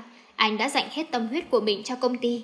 Bây giờ bắt anh đứng đó nhìn nó sụp đổ, sẽ giết chết anh thêm một lần nữa. Cho dù anh đã nói anh không thể mất cô, cho dù anh đã chọn cô và Tiểu Ly, nhưng cô biết anh đang đau lòng biết nhượng nào. Mất công ty đó giống như anh đánh mất một nửa cuộc sống của mình. Anh đã từng nói với cô, suốt 10 năm qua, anh sống chỉ vì Tiểu Ly và làm bạn với công việc. Công ty đó anh đã gây dựng nên vì người phụ nữ đó, và hơn hết là vì Tiểu Ly. Có lẽ sáng ngày mai, anh sẽ quyết định khác đi, và cô mong muốn điều đó. Không phải vì cô mong anh sẽ rời xa cô, chắc chắn cô sẽ đau đớn đến xé lòng khi thấy anh sánh vai bên người phụ nữ khác. Nhưng để anh được hạnh phúc, cô sẽ làm tất cả. Cô thấy có lỗi với đứa con trong bụng, nhưng cô không thể để anh phải mất đi những thứ quý giá hơn cả tính mạng của anh. Cô không thể nhìn thấy anh sụp đổ. Cái ý nghĩ sẽ mất đi anh cũng đủ khiến cô không thể tồn tại. Nhưng rồi cô cũng sẽ quen với điều đó mà thôi. Đứa con của anh là món quà tuyệt diệu và vô giá. Với cô như vậy là đủ. Sáng hôm sau, cô thức dậy muộn. Một phần vì chặn chọc mãi mới ngủ được. Một phần vì cô đang mang thai. Cô đến bên cửa sổ để kéo tấm rèm cho ánh sáng mặt trời chiếu vào. Cô nhìn thấy anh và chú Minh ở dưới sân. Anh đang tiến ông về. Có phải anh đã quyết định chuyện nhượng lại hợp đồng đó? Cô vội vã thay quần áo và xuống nhà. Bạn Năm nhìn cô với dáng vẻ hớt hơ, hớt hải lại gần. Cháu làm gì mà vội vàng thế? Đang mang thai thì phải cẩn thận chứ. Bạn nói nghiêm khắc. Cô không định nói cho ai trong nhà biết. Nhưng thật tiếc là không thể che giấu được một người phụ nữ từng trải như bà Năm. Bác, đừng nói cho anh ấy biết, kể cả Tiểu Ly nữa. Chuyện này chưa phải đến lúc để nói đâu. Đứa trẻ này đến thật không đúng lúc một chút nào. Cô nói nhỏ. Ta biết, nhưng mà cháu cũng phải cẩn thận đấy, nhớ chưa? Đừng có quên là trong bụng cháu còn có một đứa trẻ. Đừng có mà chạy nhanh như thế. Vâng, cháu biết. À, chú Lý đến đây, có phải là có chuyện gì hay không? Sáng nay cậu Bình gọi ông ấy đến sớm. Hai người trong phòng làm việc nói chuyện rất lâu. Cậu ấy vừa tiến ông Lý về. Em dậy rồi sao? Anh hỏi rồi đặt một nụ hôn lên trán của cô. Vâng, chủ Minh đến đây có chuyện gì thế anh? Không phải là anh vẫn quyết định nhượng lại cái hợp đồng đấy chứ? Cô đi cùng anh đến bên chiếc ghế sofa. Tối qua anh đã nói với em rồi còn gì. Công ty anh có thể vực lại dù là khó khăn, nhưng có những điều anh không thể đánh mất. Anh nhìn thẳng vào mắt cô và nói. Vậy điều kiện kia thì sao? Anh không nghĩ tới nó sao? Chẳng nhé anh đành lòng nhịn công ty rơi vào khủng hoảng. Cô rụt rè nói. Anh không muốn nói đến những chuyện này nữa. Đừng bao giờ nhắc đến cái điều kiện đó trước mặt anh. Anh lạnh lùng nói rồi bỏ lên tầng. Những ngày sau đó vẫn trôi qua bình thường như bao ngày khác. Nhưng lúc ở bên nhau, anh luôn luôn quan tâm lo lắng cho cô, làm mọi điều mà cô muốn dù cô không yêu cầu. Sau giờ làm việc là anh bay ngay về nhà, cùng với cô trêu đùa với Tiểu Ly. Chỉ trừ lúc cô nói với anh về những điều kiện khác, thái độ của anh lập tức thay đổi. Anh nhịn cô như kẻ tội đồ, ánh mắt của anh u ám khiến cho cô lạnh sống lưng, nhưng cô vẫn phải nói, nói cho đến khi nào anh cân nhắc lại quyết định của chính mình. Anh có thể quay lại... Nói thêm một lần nữa là anh bóp cổ em đấy. Anh gặn giọng khi cô định nói tới chuyện đó thêm một lần nữa. Nhưng tại sao anh cứ nhất quyết phải để lại công ty đấy mà anh đã mất bao nhiêu công sức để gây dựng nên lại sụp đổ chứ? Cô không thể chịu nổi cái tính cố chấp của anh nữa. Vậy tại sao em lại cứ đẩy anh đến với người phụ nữ mà anh không còn bất cứ tình cảm gì ngoài sự khinh bỉ và căm ghét? Anh lớn tiếng. Nhưng ít ra, chị có thể giúp cho công ty của anh không sụp đổ và anh sẽ được ở bên Tiểu Ly. Cô nói nhỏ, quay ra phía cửa sổ để tránh ánh mắt của anh. Cô sợ anh sẽ nhìn thấy sự đau đớn hiện rõ trên khuôn mặt của mình. Xin em, Tiểu Ly còn chưa bao giờ gặp mẹ nó. Anh thậm chí còn chưa bao giờ nói rõ với con bé về chuyện của bọn anh. Anh đã dịu đi một chút. Anh nên nói với con bé, dù sao thì nó cũng cần biết về mẹ nó đã trở về. Chuyện này sớm hay muộn gì thì cũng phải nói. Và anh phải là người nói với con bé. Nhưng anh sợ con bé sẽ không chịu nổi. Bệnh của nó. Anh định đợi đến khi nào?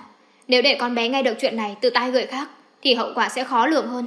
Bệnh của con bé không thể chịu được bất kỳ chấn mạnh nào. Vì thế, anh nhất định phải nói với con bé, càng sớm càng tốt. Nhất định phải là anh sao? Chẳng nhé em không thể nói với con bé. Nhưng anh là bố của nó. Con bé cần phải chuẩn bị kỹ tâm lý. Vì em nghĩ, sớm muộn gì thì chị ấy cũng sẽ đưa chuyện này ra tòa mà thôi. Một hợp đồng của công ty không thể đủ được. Mục đích của chị ta không phải là công ty của anh. Em có biết em đang nói cái gì không đây? Anh nhìn cô nghi ngại. Dĩ nhiên, em cũng vừa nhận ra điều đó mà thôi. Phải, mục đích của chị ta không chỉ là cái hợp đồng đó. Nếu thế thì đã không phải nhất thiết bày ra trò này. Gương mặt của cô sáng lên vì điều mình vừa phát hiện. Sao em lại ngốc như vậy chứ? Bao lâu nay tại sao em lại không đoán ra được? Khoan đã, ý của em là cô ta còn có âm mưu gì khác. Anh chẳng hiểu gì cả. Anh nói. Phải, lần trước, chàng đã nói với em về lý do Mỹ Anh trở lại đây. Tập đoàn Bombay đang tìm một đối tác làm ăn. Hay đúng hơn là một con mồi. Tập đoàn đó nổi tiếng với kiểu làm ăn nuốt chừng. Họ hợp tác với một công ty, lợi dụng những kẽ hở của công ty đó để dần dần thâu tóm toàn bộ. Anh giảng giải. Chính xác. Mặc dù biết hợp pháp với Bombay là rất mạo hiểm, nhưng vẫn có rất nhiều công ty muốn hợp tác, vì lợi nhuận khi hợp tác với tập đoàn đó là không nhỏ. Cô dừng lại một chút. Tuy nhiên, để đánh vào thị trường du lịch châu Á, nhất là thị trường du lịch Việt Nam, thì những công ty kia chỉ như muối bỏ biển. Và vì vậy, họ chọn Palimbia. Đúng vậy. Thấy anh vẫn còn nghi ngờ, cô nói tiếp. Khi Palimbia bất hợp đồng đó, công ty sẽ khủng hoảng. Cổ phiếu rớt giá. Khi chuyện này đến tai các thành viên trong hội đồng quản trị, thì chắc chắn sẽ có chiến tranh nổ ra. Có hai khả năng sẽ xảy ra. Hoặc là họ sẽ tìm cách rút vốn khỏi công ty, hoặc là họ sẽ lợi dụng việc này để đưa người khác lên giữ chức chủ tịch. Lợi dụng khi công ty đang xáo xào, cộng thêm cổ phiếu niêm yết trên thị trường bị giảm mạnh, Bombay sẽ mua lại những cổ phiếu đó. Thậm chí họ còn mua chuộc các cổ đông nhỏ. Khi số cổ phiếu của họ đạt mức 40-45, họ sẽ có cả công ty và anh sẽ mất nó. Cô nhìn anh thận trọng. Chết tiệt, tại sao anh lại không nghĩ ra những chuyện này ngay từ đầu? Anh tự xỉ vả chính mình. Nhưng làm sao một cô gái như em lại biết tất cả những chuyện này? Hồi trước, lúc cha em mất, chuyện tương tự như thế đã xảy ra với công ty của cha em. Bây giờ, nó do bảo mại kế của em quản lý, sau khi bà ta vung tiền của mình ra mua lại cổ phần. Hay nói chính xác hơn là bà ta đã lấy trộm của cha em trong suốt thời gian bọn họ chung sống. Xem ra anh đã đánh giá thấp em rồi. Từ khi gặp em đến giờ, lúc nào anh cũng bất ngờ vì mọi thứ ở em. Còn bất ngờ nào nữa mà anh không biết. Anh đến bên cạnh cô, ghé sát vào tai cô thì thầm. Sẽ còn rất nhiều điều nữa mà anh sẽ phải đợi. Cô mỉm cười nói. Thôi được rồi, anh sẽ đợi vậy. Anh mỉm cười. Và từ giờ trở đi, em không bao giờ được nhắc đến điều kiện của cô ta trước mặt anh. Anh sẽ từ chối cả hai điều kiện chết tiệt đó. Anh vẫn sẽ giữ công ty của mình lớn mạnh, giữ em bên anh và sẽ không để cho cô ta mang con gái của anh đi khỏi anh. Làm vậy có được hay không? Nhất định sẽ còn tuyệt hơn cả trong mong đợi. Nhưng trước tiên phải làm theo lời em nói, nói chuyện với Tiểu Lý trước. Anh nên nhẹ nhàng để con bé có thể hiểu hết, đừng ép con bé phải hiểu ngay những gì anh nói. Anh muốn em ở đó cùng với anh. Bất cứ điều gì anh muốn. Hai người bước vào phòng Tiểu Ly, cô bé đang ngồi trên giường và chăm chú đọc một cuốn sách đầy những bức tranh. Anh nhận ra đó là cuốn sách đầu tiên anh mua cho Tiểu Ly khi con bé bắt đầu biết đọc. Con vẫn luôn thích cuốn sách đó sao? Anh nhẹ nhàng đến bên cạnh con gái. Vâng, đó là cuốn sách đầu tiên của con mà. Con bé ngẩng đầu lên nhìn anh mỉm cười, nụ cười trẻ thơ trong sáng khiến tim của anh đau nhói. Sao cả hai người lại nhìn con như thế? Con bé hỏi khi thấy cả anh và cô đều nhìn chằm chằm vào mình. Con yêu, thật ra là cho có chuyện này muốn nói với con. Anh nhìn cô cậu cứu. Tiểu Ly, cha con có rất nhiều chuyện quan trọng muốn nói với con. Nhưng trước hết, cha mẹ muốn con phải thật bình tĩnh để lắng nghe những gì mà cha con sắp nói ra. Hãy hứa với mẹ là phải thật bình tĩnh, mẹ sẽ ở đây bên cạnh con. Cô mỉm cười trao cho cô bé một ánh mắt đầy tin tưởng. Được, con hứa, con sẽ thật bình tĩnh. Có chuyện gì vậy cha? Chuyện này là về mẹ của con, mẹ đẻ của con. Anh nghẹn lời, chờ đợi một phản ứng nhỏ trên khuôn mặt của con gái. Rồi khi thấy mọi chuyện không có gì là bất ổn, anh tiếp tục nói. Mẹ con đã trở về đây. Người phụ nữ mà lần trước con gặp ở đây. Con còn nhớ cô ấy chứ? Người mà con hỏi cha ấy. Dạ, con nhớ. Bàn tay nhỏ bé của Tiểu Ly nắm chặt lấy tay của cô hơn. Chỉ có cô mới cảm nhận được điều đó, còn anh thì không thể nhìn thấy. Cô ấy... cô ấy chính là mẹ con. Mẹ con vừa từ nước ngoài trở về và mẹ muốn đến gặp con. Bây giờ mẹ con đang muốn giải quyền nuôi con với cha. Mẹ muốn cha mẹ ra tòa để giải quyền nuôi con. Con sẽ phải ở với ai thắng? Tiểu lý im lặng, sự im lặng đó khiến cho anh cảm thấy nghẹt thở. Anh tự nguyện rủa mình vì đã nói cho con bé biết chuyện này. Sự bình tĩnh quá mức của con bé càng khiến cho anh cảm thấy sợ hãi. Anh đưa mắt nhìn cô, ánh mắt chất chứa đầy sự lo lắng và hối hận. Nhưng cô đã đặt tay lên vai của anh, trấn an tinh thần. Mẹ, mẹ đã bỏ con đi. Tiểu Ly khóc nấc lên. Cha chưa bao giờ nói ra điều đó, nhưng mà con biết, con luôn biết điều đó mà. Cô bé ôm chặt lấy cô mà thổn thức. Con yêu, cha xin lỗi, vì bây giờ cha mới nói với con. Nhưng bây giờ mẹ con đã trở về, con có thể nhận lại mẹ. Anh nhẹ nhàng nói, nhưng kỳ thực anh đang đau thắt ở trong tim. Anh ghét phải làm tổn thương con bé. Không, không đâu, mẹ đã bỏ rơi con. Con ghét bị bỏ rơi, con ghét. Tiểu Ly hét lên, thở dốc. Hai người hoảng hốt trấn an cô bé, tránh không để cho mọi chuyện đi quá xa. Tiểu Ly, Tiểu Ly, con yêu, nhìn mẹ này. Cô xoay Tiểu Ly lại, nhìn thẳng vào mắt cô bé. Con đã hứa rằng mình phải thật bình tĩnh, con nhớ không? Nào, hãy nghe mẹ. Cha mẹ nói chuyện này với con, nhưng quyền quyết định là ở con. Không ai ép con hết. Con sẽ phải làm bất cứ việc gì mà con thích. Hãy bình tĩnh. Con đã hứa với mẹ rồi, phải không nào? Vâng. Cô bé khẽ gật đầu và bình tĩnh trở lại. Khuôn mặt trắng hồng của cô bé còn vương lại mấy giọt nước mắt. Nhưng con không muốn gặp người đó. Cô ấy không phải là mẹ của con. Mẹ mới là mẹ của con. Con bé sụi sụi khóc. Phải, mẹ là mẹ của con. Mẹ yêu con. Cô ôm con bé vào lòng vỗ về. Anh thở phào nhẹ nhõm. May mà con bé không sao. Anh nhịn cô vỗ về con gái của mình. Chưa bao giờ anh cảm nhận sự sâu sắc của hai chữ gia đình đến thế. Anh thậm cảm ơn ông trời đã mang cô đến cho anh. Lúc này đây, nếu như không có cô thì có lẽ anh đã làm cho mọi chuyện rối tung lên. Hay thậm chí anh còn chẳng đủ can đảm để nói hết với Tiểu Ly. Thật ra chưa hẳn là nói hết, nhưng như thế cũng đủ rồi. Càng lúc anh càng cảm thấy mình không thể thiếu cô. Cô chính là nguồn sức mạnh của anh. Ai mà có thể tưởng tượng được, ngay đến cả chính anh cũng chưa từng nghĩ rằng có một ngày anh sẽ phải dựa dẫm vào cô gái nhỏ bé đang ngồi trước mặt anh kia. Chiếc điện thoại rung lên kéo anh ra khỏi dòng suy nghĩ của mình. Tim anh đậm thịnh thịch khi thấy số của ông luật sư Lý đang hiện trên màn hình. Anh nhịn cô và Tiểu Ly rồi đi ra khỏi phòng. Cô biết cái ánh nhìn đó trong mắt của anh có nghĩa là gì. Anh đang lo lắng, anh sợ sẽ phải nghe những điều mà mình không muốn nghe. Ông Lý, mọi chuyện như thế nào rồi? Anh sốt sáng hỏi. anh bạn, cậu đúng là có quý nhân phù trợ. Tập đoàn bombay đang dính vào mấy vụ kiện tụng lớn. Nghe nói cô vợ cũ của cậu và ông sếp của cô ta chính là nhân vật chính. Giọng của ông Lý hộ hởi. Ôi trời, ông nói mấy chuyện này làm gì chứ? Tôi đang hỏi là chuyện tòa án như thế nào rồi? Anh bực bội. Nhân chứng thì cô ta đã mua chuộc rồi, nhưng cô ta đã quên mất một người vô cùng quan trọng, mà tôi thì đã tìm ra người đó. Người quan trọng? Là ai? Là bà chủ nhà trọ trước kia của hai người. Bà ta chính là nhân chứng tốt nhất còn gì. Chính bà ấy là người đã chứng kiến cuộc hôn nhân của hai người, từ đầu đến cuối có đúng hay không?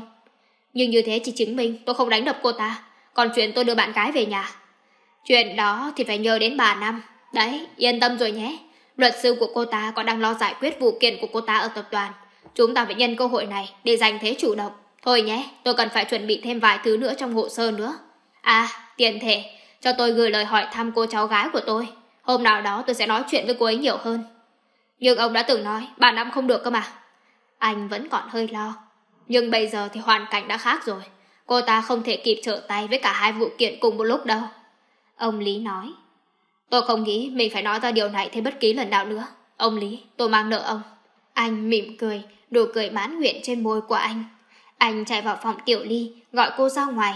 Cô nhẹ nhàng đặt Tiểu Ly nằm xuống. Còn bé khóc lóc mãi rồi cũng lăn ra ngủ. Không hiểu anh có chuyện gì, cô sang phòng anh. Có chuyện gì vậy anh? Cô hỏi nhỏ.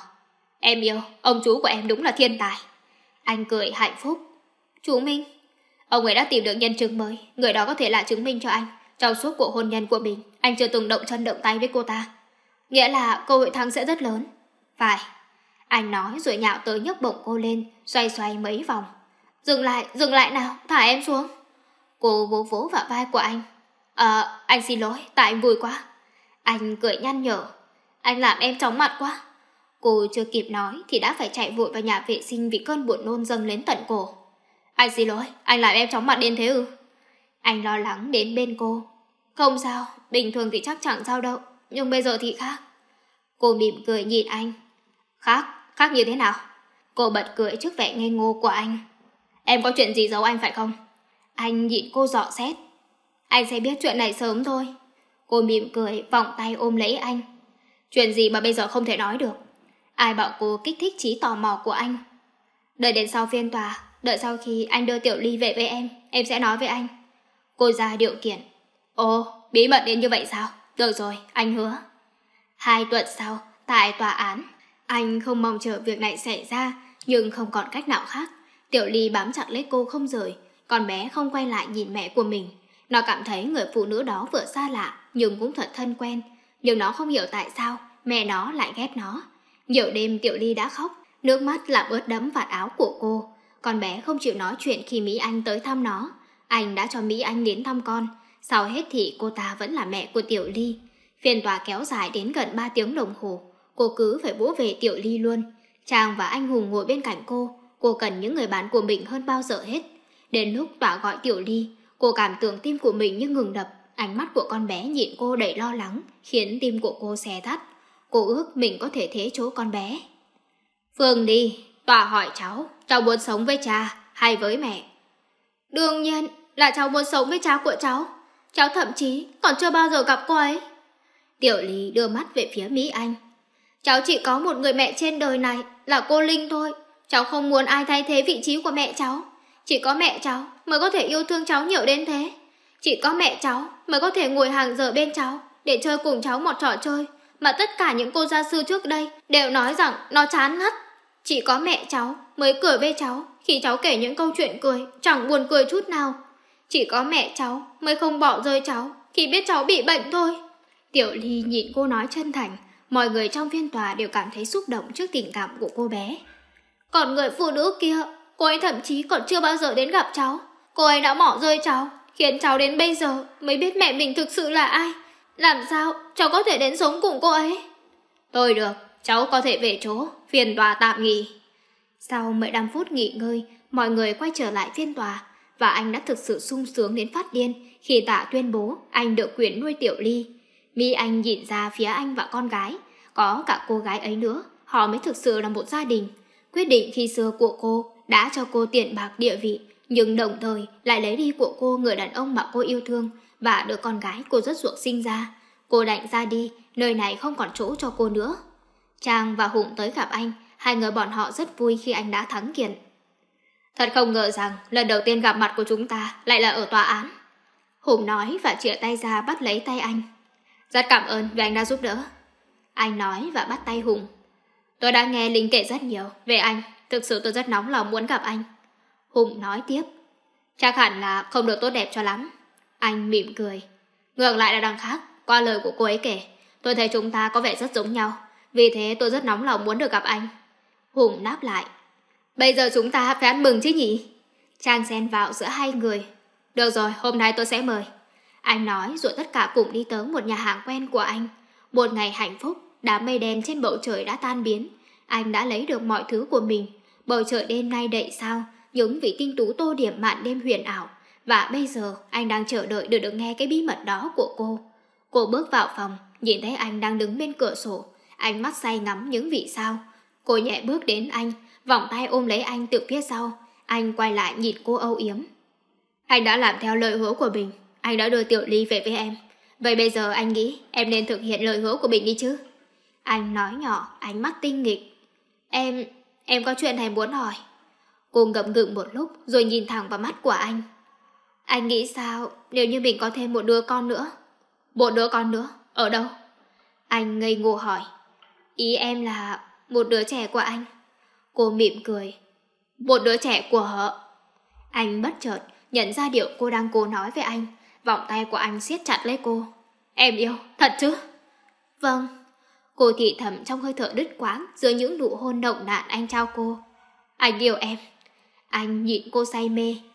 Anh nghĩ Tiểu Ly sẽ vui chứ, nếu nó biết mình sắp có em. Cô hỏi. Dĩ nhiên, con bé sẽ rất vui mừng đấy chứ. Ngày mai chúng ta phải nói chuyện này với con bé. Yeah, thế là con sắp có em thật rồi sao? Trời ơi, mẹ thật là tuyệt vời quá đi. Tiểu Ly hét lên sung sướng khi hai người nói chuyện với cô bé. Con thích em bé chứ? Cô mỉm cười hỏi.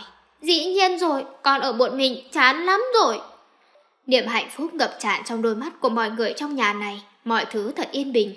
Xe của Linh đang đỗ trước ngôi nhà của cha mình, nó đã quá lâu rồi cô không quay lại đây. Nó vẫn như cũ, không thay đổi một chút nào cả. Chỉ có điều bây giờ nó thật yên ắng, thật lạnh lùng. Nó không còn vang lên tiếng cười của cha mẹ cô, không còn vang lên tiếng đàn của hai cha con. Hôm nay lúc anh gọi điện về nhà, bảo cô chuẩn bị để anh Phong lái xe của anh, đưa cô tới một nơi vì anh đã dành cho cô một món quà ở đó. Cô đã rất ngạc nhiên, ai ngờ đó chính là món quà này. Anh Phong, Hoàng Bình đâu? Chẳng phải anh ấy nói tặng tôi quà hay sao? Cô hỏi anh tài xế. Chủ tịch chỉ bảo tôi đưa phu nhân đến đây. Hôm nay ngày có hẹn đánh côn với chủ tịch tập đoàn Lavender. Tôi biết rồi, phiền anh đợi tôi ở đây một lát. Cô nói rồi bước xuống xe. Không có gì đâu phu nhân. Phong đáp lại. Cô đứng trước ngôi nhà, ngắm nghía nó thật kỹ. Bao nhiêu kỷ niệm ùa về trong cô. Anh thật quá quắt, tự nhiên bảo người ta đưa cô đến đây. Biết rõ là cô không muốn gặp bà mẹ kế của mình. Cô sợ phải nghe thấy những lời lẽ lăng nhục của bà mẹ kế. Đi đánh gôn sao? Từ ngày anh và anh Hùng gặp nhau ở tòa án, hai người đó đã nhanh chóng trở nên thân thiết. Cả trong chuyện làm ăn lẫn thể thao đều hợp nhau. Bỗng nhiên cánh cửa bật mở khiến cho cô bật mình. Kim Phương, cô em kế của cô bước ra, chắc cô ta đang định đi đâu đó. Cô ta khựng lại nhìn thấy cô, vẻ mặt đầy kinh hoàng. Chị, chị đang làm gì ở đây vậy? Cô ta hỏi. Tôi muốn về thăm nhà của cha mẹ tôi, chẳng nhẽ không được sao? Chị đã đi khỏi đây 7 năm rồi, tại sao chị còn quay trở lại đây làm gì? Có chuyện gì mà to tiếng thế? Tiếng bà mẹ kế vang lên, bà ta cũng phản ứng y hệt như cô con gái. Mày, mày đang làm cái gì ở đây thế? Tôi chỉ muốn về thăm lại ngôi nhà của cha mẹ tôi mà thôi. Ngôi nhà nào là của cha mẹ mày? Bây giờ không còn là của cha mẹ mày nữa rồi. Bà ta nhếch mép nói bằng giọng khinh bỉ. Ý bà là sao chứ? Cô hốt hoảng. Tao đã bán nó rồi, có người đã mua nó với giá cao. Sao bà lại làm như thế? Tôi đã cho bà công ty, tôi đã đi khỏi nhà, tại sao bà lại thất hứa chứ? Mày đã đi khỏi đây 7 năm rồi, công ty của ta đang gặp khó khăn, tao cần tiền, ngôi nhà này cũng đã cũ rồi, bán đi thì có sao chứ? Bà, bà là bộ phụ thủy độc ác, tại sao bà lại làm thế chứ? Bà, chẳng nhẽ bà không sợ linh hồn của cha tôi trên trời, không tha cho bà hay sao? Cô hét lên, mày dám nói với tao cái kiểu đấy à? Bà ta giơ tay lên định tát cô, thì có một bàn tay ngăn lại. Cô quay sang bên cạnh, thì ra là anh Phong. Anh là ai? Bà ta hỏi. Đề nghị bà tôn trọng một chút, phu nhân không phải là người mà bà muốn đánh thì đánh, muốn mắng thì mắng đâu. Phu nhân, chị đã lấy chồng rồi sao? Cô em kế ngạc nhiên hỏi. Cô ấy là vợ của chủ tịch tập đoàn Valimir, cũng là người đã mua lại ngôi nhà này. Cô ấy là chủ nhân của ngôi nhà này. Cô, cô, cô làm sao có thể chứ? Bà mẹ kế lắp bắp. Trên đời này không có gì là không thể cả. Giọng nói vang lên đằng sau, khiến tất cả quay đầu lại. Anh bước tới bên cạnh cô. Chào bà, tôi là Nguyễn Hoàng Bình. Tôi là người đã mua lại ngôi nhà này. Ngày mai là đầy năm của con trai tôi. Và tôi muốn tặng món quà này cho thằng bé. Anh nói rồi quay sang nhịn cô bằng ánh mắt tinh nghịch. Ngôi nhà này mẹ đó đã từng lớn lên cơ mà. Ờ, chủ tịch, thật hân hạnh cho gia đình tôi khi được tiếp đón anh và phu nhân ở đây. Mời anh vào nhà.